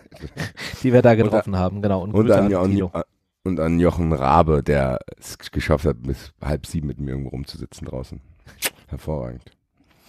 Naja, Ich habe noch eine kleine Prä-Empfehlung, weil ist noch nicht da, aber will ich jetzt vorsorglich schon mal empfehlen. Und zwar ist bald wieder Rasenfunk Royal-Zeit. Und wie wir gehört haben, sind da zwei ganz großartige Menschen für die Eintracht mit dabei. Also den Eintracht-Teil, den müsst ihr jetzt ja so oder so hören. Da Auf jeden Fall. führt kein Weg dran vorbei. Und ich könnte mir vorstellen, dass auch zu den anderen Vereinen das wieder ganz großartig wird, dass der Max da wieder ordentlich abliefern wird. Äh, er ist fleißig am Aufnehmen. Das kann noch ein wer ist bisschen da dauern. dabei? Wer ist da dabei eigentlich? Die, die beiden, unsere, unsere beiden Liebsten, und zwar die Pia und der Bewe. Ja, auf jeden Fall. Da hören auch mal, hören auch mal Fans nicht un, immer unser Gesabbel, sondern kommen mal zwei andere, die man ja sonst nicht so oft hört, wenn man nicht gerade auf der Waldtribüne ist. Insofern ist das noch richtig eine geile Angelegenheit. Werden mit Mikros ausgestattet. Ich glaube, der DAX läuft da und dann hast du, hörst du auf jeden Fall Bewe und Pia, wie sie, glaube ich, auch ganz markant und ganz viel über ihr Pokalerlebnis erzählen. Ich denke, das wird auch da wieder im Vordergrund stehen. Grüße bitte. Ich bin sehr enttäuscht, dass die Pia und ich nicht bei dem offiziellen vom DFB ausgerufenen ihr habt Pokalselfie ja gewonnen haben. Das ist eine große Frechheit. Keine Grüße an den DFB. Ja, den, der kriegt so oder so momentan keine Größe von uns, aber jetzt erst recht nicht. Also das Nee, ist. also das ist die größte Frechheit vom. Ganzen. ja. Ich glaube, damit haben wir es geschafft und damit ist auch die Energie bei uns raus. Wir können noch so einen kleinen Teaser machen. Wenn alles gut läuft, dann nehmen wir Richtung Ende der Woche eine Saisonrückschau auf. Da wird es keinen Livestream zu geben, aber ich werde mich dran setzen, dass die dann relativ schnell auch online geht. Ich will jetzt kannst schon mal dein scheiß Datenvolumen verbrauchen für uns. Nein. Ähm, ich will jetzt noch nicht zu viel äh, anteasern, weil erstmal muss das Ding ja auch aufgenommen werden, aber wenn das alles so kommt, wie wir das planen, dann wird das äh, bestimmt großartig und könnte epische Längen erreichen. Und ähm, mal gucken, was uns sonst noch so alles einfällt. Basti hatte vorhin gesagt, er will am 31. mit seinen Kumpels auf der Couch sitzen und Flüge buchen. Ich dachte vielleicht an so einen Live-Podcast zur Auslosung, aber wir schauen mal. Ja, wenn erst das eine, dann das andere. Also vielleicht die Auslosung und dann machen wir so einen Late-Night-Podcast oder so. Irgendwas in der Richtung, weil wir uns auf jeden Erst Fall erstmal buchen. Genau. Ja, weil das ist natürlich, ich, ihr, ihr kennt, das ist halt auch geil. Das ist halt genau das Ding. Wenn wir jetzt von Europa reden, weißt du, wie viele Leute die dann gleich parallel dann an ihren scheiß Rechnern sitzen werden, alle 10 5 drücken und dann schauen, welcher Flug nach, was weiß ich, Heraklion am günstigsten ist, ja, und äh, dann alle buchen, dann, dann dauert es 10 Minuten, dann ist der Flugpreis in die Höhe geschnellt und wir machen uns alle Gedanken, scheiße, was machen wir jetzt? Und dann gibt es die ersten Verrückten, die schon, die schon äh, einen Die Zug Dinge buchen nach, nach verticken, Ja, ja. oder, oder nee, nein, oder einen Zug buchen nach Heraklion. Und dann, und dann gibt es dann Leute, dann hörst du die ersten Fans, die 20 Stunden nach Griechenland mit dem Zug fahren oder so. Und dann überlegen sich, ja, dann überlegen sich andere Verrückte, ja gut, okay, der Zug ist ja ganz nett, aber ich will ja sportlich bleiben, also fahre ich mit dem Fahrrad. Das ist die Eintracht, liebe Leute. Deswegen machen wir diesen ganzen Scheiß, weil wir so verrückt sind, weil wir so verrückte, bescheuerte Fans haben, die jeden Mist mitmachen. Und das ist genau das. Und da muss ich sagen, hat sich der Kreis auch geschlossen. Das ist auch, finde ich, eine gute Ansage auch von Kovac gewesen. Der Pokal ist auch oder fast nur für euch. Denn es ist genau diese Auszahlung. Das ist das, was die, was, was, was das Feuer in den Herzen der Fans der Eintracht wieder entfacht für nächste Schandtaten, für, für die nächsten äh, 20.000 laufen durch Bordeaux, 20.000 laufen vielleicht demnächst durch Lyon, was weiß ich, keine Ahnung, wer da nächstes Jahr alles dabei ist. Aber ich kann einen Wunsch will ich äußern, ich würde ganz gern europäisch, nicht nur europäisch, sondern ich würde ganz gern eigentlich mal nach Großbritannien fahren mit der Eintracht. Hätte ich mega viel. Ja, da hätte ich auch mega Bock zu. Ich auch. London, Istanbul und Praga. Grüße. Gut. Wir werden uns da sehr ausführlich mit beschäftigen nach der Saisonabschlussfolge und nach einem kleinen Päuschen, was wir, glaube ich, alle brauchen. Wir wünschen euch jetzt erstmal eine, eine schöne Restwoche. Lauft weiterhin mit Eintracht-Trikots oder Eintracht-Shirts durch die Gegend. Habt das Grinsen im Gesicht. Äh, freut euch über all die schönen Artikel. Schaut euch das Spiel noch 43 Mal an. Und wir melden uns in der nächsten Woche mit einer kleinen Saisonabschlussfolge. Bis dahin, macht's gut.